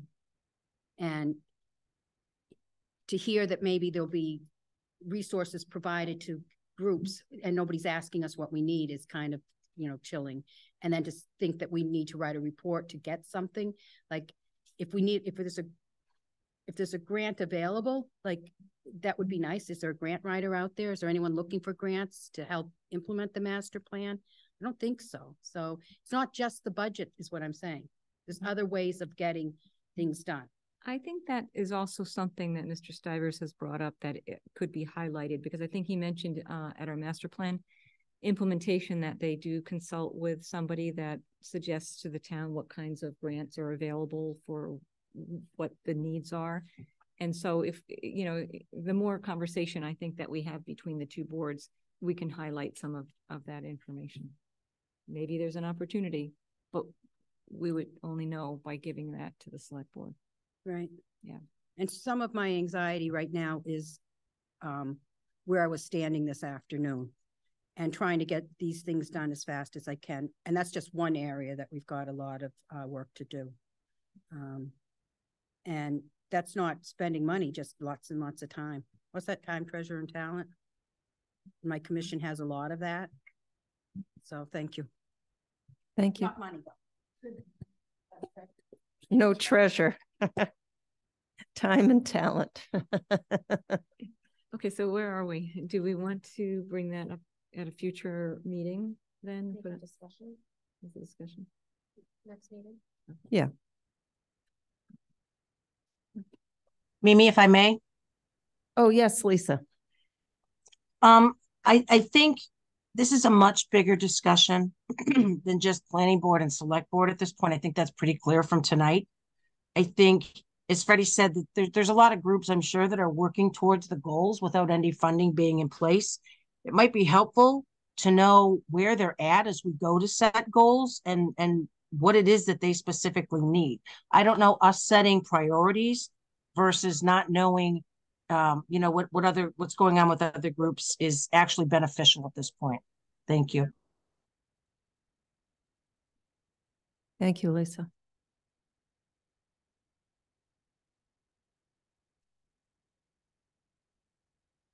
So, ha- so the master plan implementation committee has started gathering some information. Yes. Can that be shared with the uh planning board? Well, we do owe you a report. I think, um, we decided to do it twice a year. Yeah. And we'll be, you know, preparing a report for you. Are you, are you asking for which committees or boards are, departments are looking for funding in particular or priorities, or what actually are you looking for? Um, well, just the feedback that you've gotten so far and what uh, boards and committees are working on and what their priorities are. Yes, so we, we have these, we have forms that we use to talk to each of the committees and um, what happens is the information from the forms is extracted and put into an Excel spreadsheet, but I think, I think each of those forms are available. I think we're keeping them all. Okay, Yeah. that may be So let me think about the best way. That may be helpful to inform our next. Yeah, and I'll talk to the master plan implementation too, because um, I, as I mentioned, I think that this is the question that was just recently added and not as a leading question, but what will it take for you to achieve this goal? And th- this is, you know, so we don't have a, a lot um, of experience with that coming back yet. Um, but we can certainly focus on that for the next round. Thank you. Thank you very much for your work on this. Thank you. This brings us to planners report. All right, no hands raised currently in the meeting room. Oh, and thank you, Sam. I I scrolled them off the list. Okay. All right, planners report very quickly.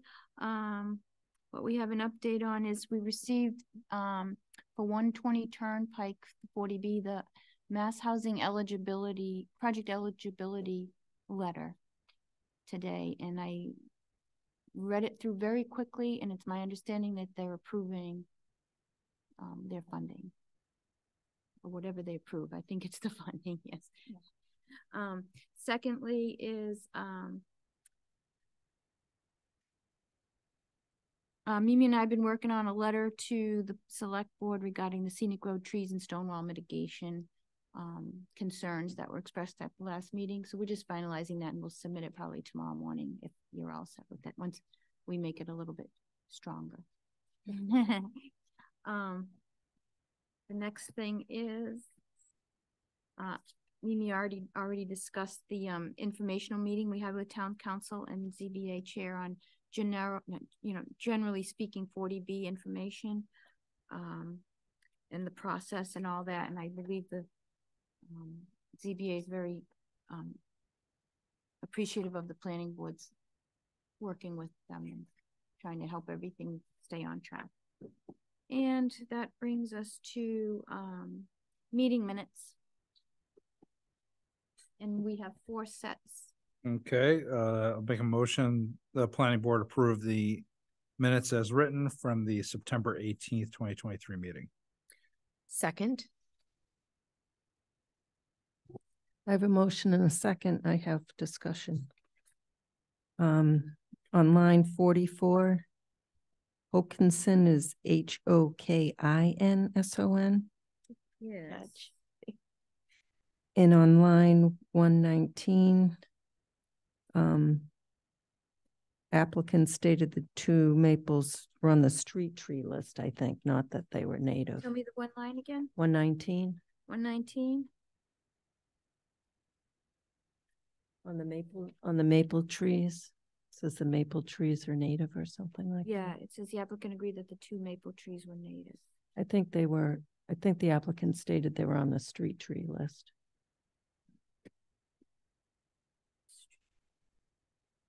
Tree list. Yeah. Any other discussion? Seeing none, all in favor, um, as amended. Latrell, yes. Stein, yes? Houlihan, yes. Demiria, yes? Braccio, yes. Right. Like to make a motion, the planning board approve the minutes from the September nineteenth, twenty twenty-three meeting. Second, Um, I have discussion on line thirty-five. Faya is P H A E A. Oh. E A. good catch. Thea? Yeah. P H A E A. got it. Thank you. Any more discussion? Uh, As I was absent, I will be abstaining. Seeing none, all in favor, Latrell, yes. Houlihan, yes. Demiria, yes? Braccio, yes. like to make a motion that the planning board approve the minutes from the September twenty-first, twenty twenty-three meeting. Second. Um, for discussion, line forty-seven, it's a minimum of fifteen units per acre, not maximum. Wait, which? September September twenty-first 21st. Minutes. Oh, Oh, what are we at? oh, I'm sorry. Right, Oh, yeah. 21. I have no discussion on the twenty-first. Uh, I, as I was absent, I will be abstaining. Any discussion on the twenty-first? Seeing none, all in favor, Latrell, yes? Houlihan, yes. Demiria, yes? Braccio, yes. I'd Like to make a motion, the planning board approve the meeting minutes from the September twenty-seventh, twenty twenty-three meeting. Second. Sorry, that one line. Forty-seven, minimum, minimum fifteen units in it, mm. an acre, not maximum. Okay. Good catch. Any other discussion? As I was absent, I will be abstaining. As I was absent, I will abstain. Seeing none, all in favor, Latrell, yes? Demiria, yes? Braccio, yes. Anything else? Thank you. Let me look. Entertain a motion to adjourn. Um, just before, you real quick, I, um, I have a couple of plans we need to sign, just four sheets. That's it, very quick. They're, uh, fourteen Main Street and twenty-eight Turnpike. All right. Adjourn? Is that what you want? Second. Motion, yeah, moved. Even a second before you make it. Any discussion? Seeing none, all in favor, Latrell, yes? Stein, yes? Houlihan, yes. Demiria, yes? Braccio, yes. Feel better, Lisa? Thank you. Well, if I could speak clearly, didn't help that I can really get some words out.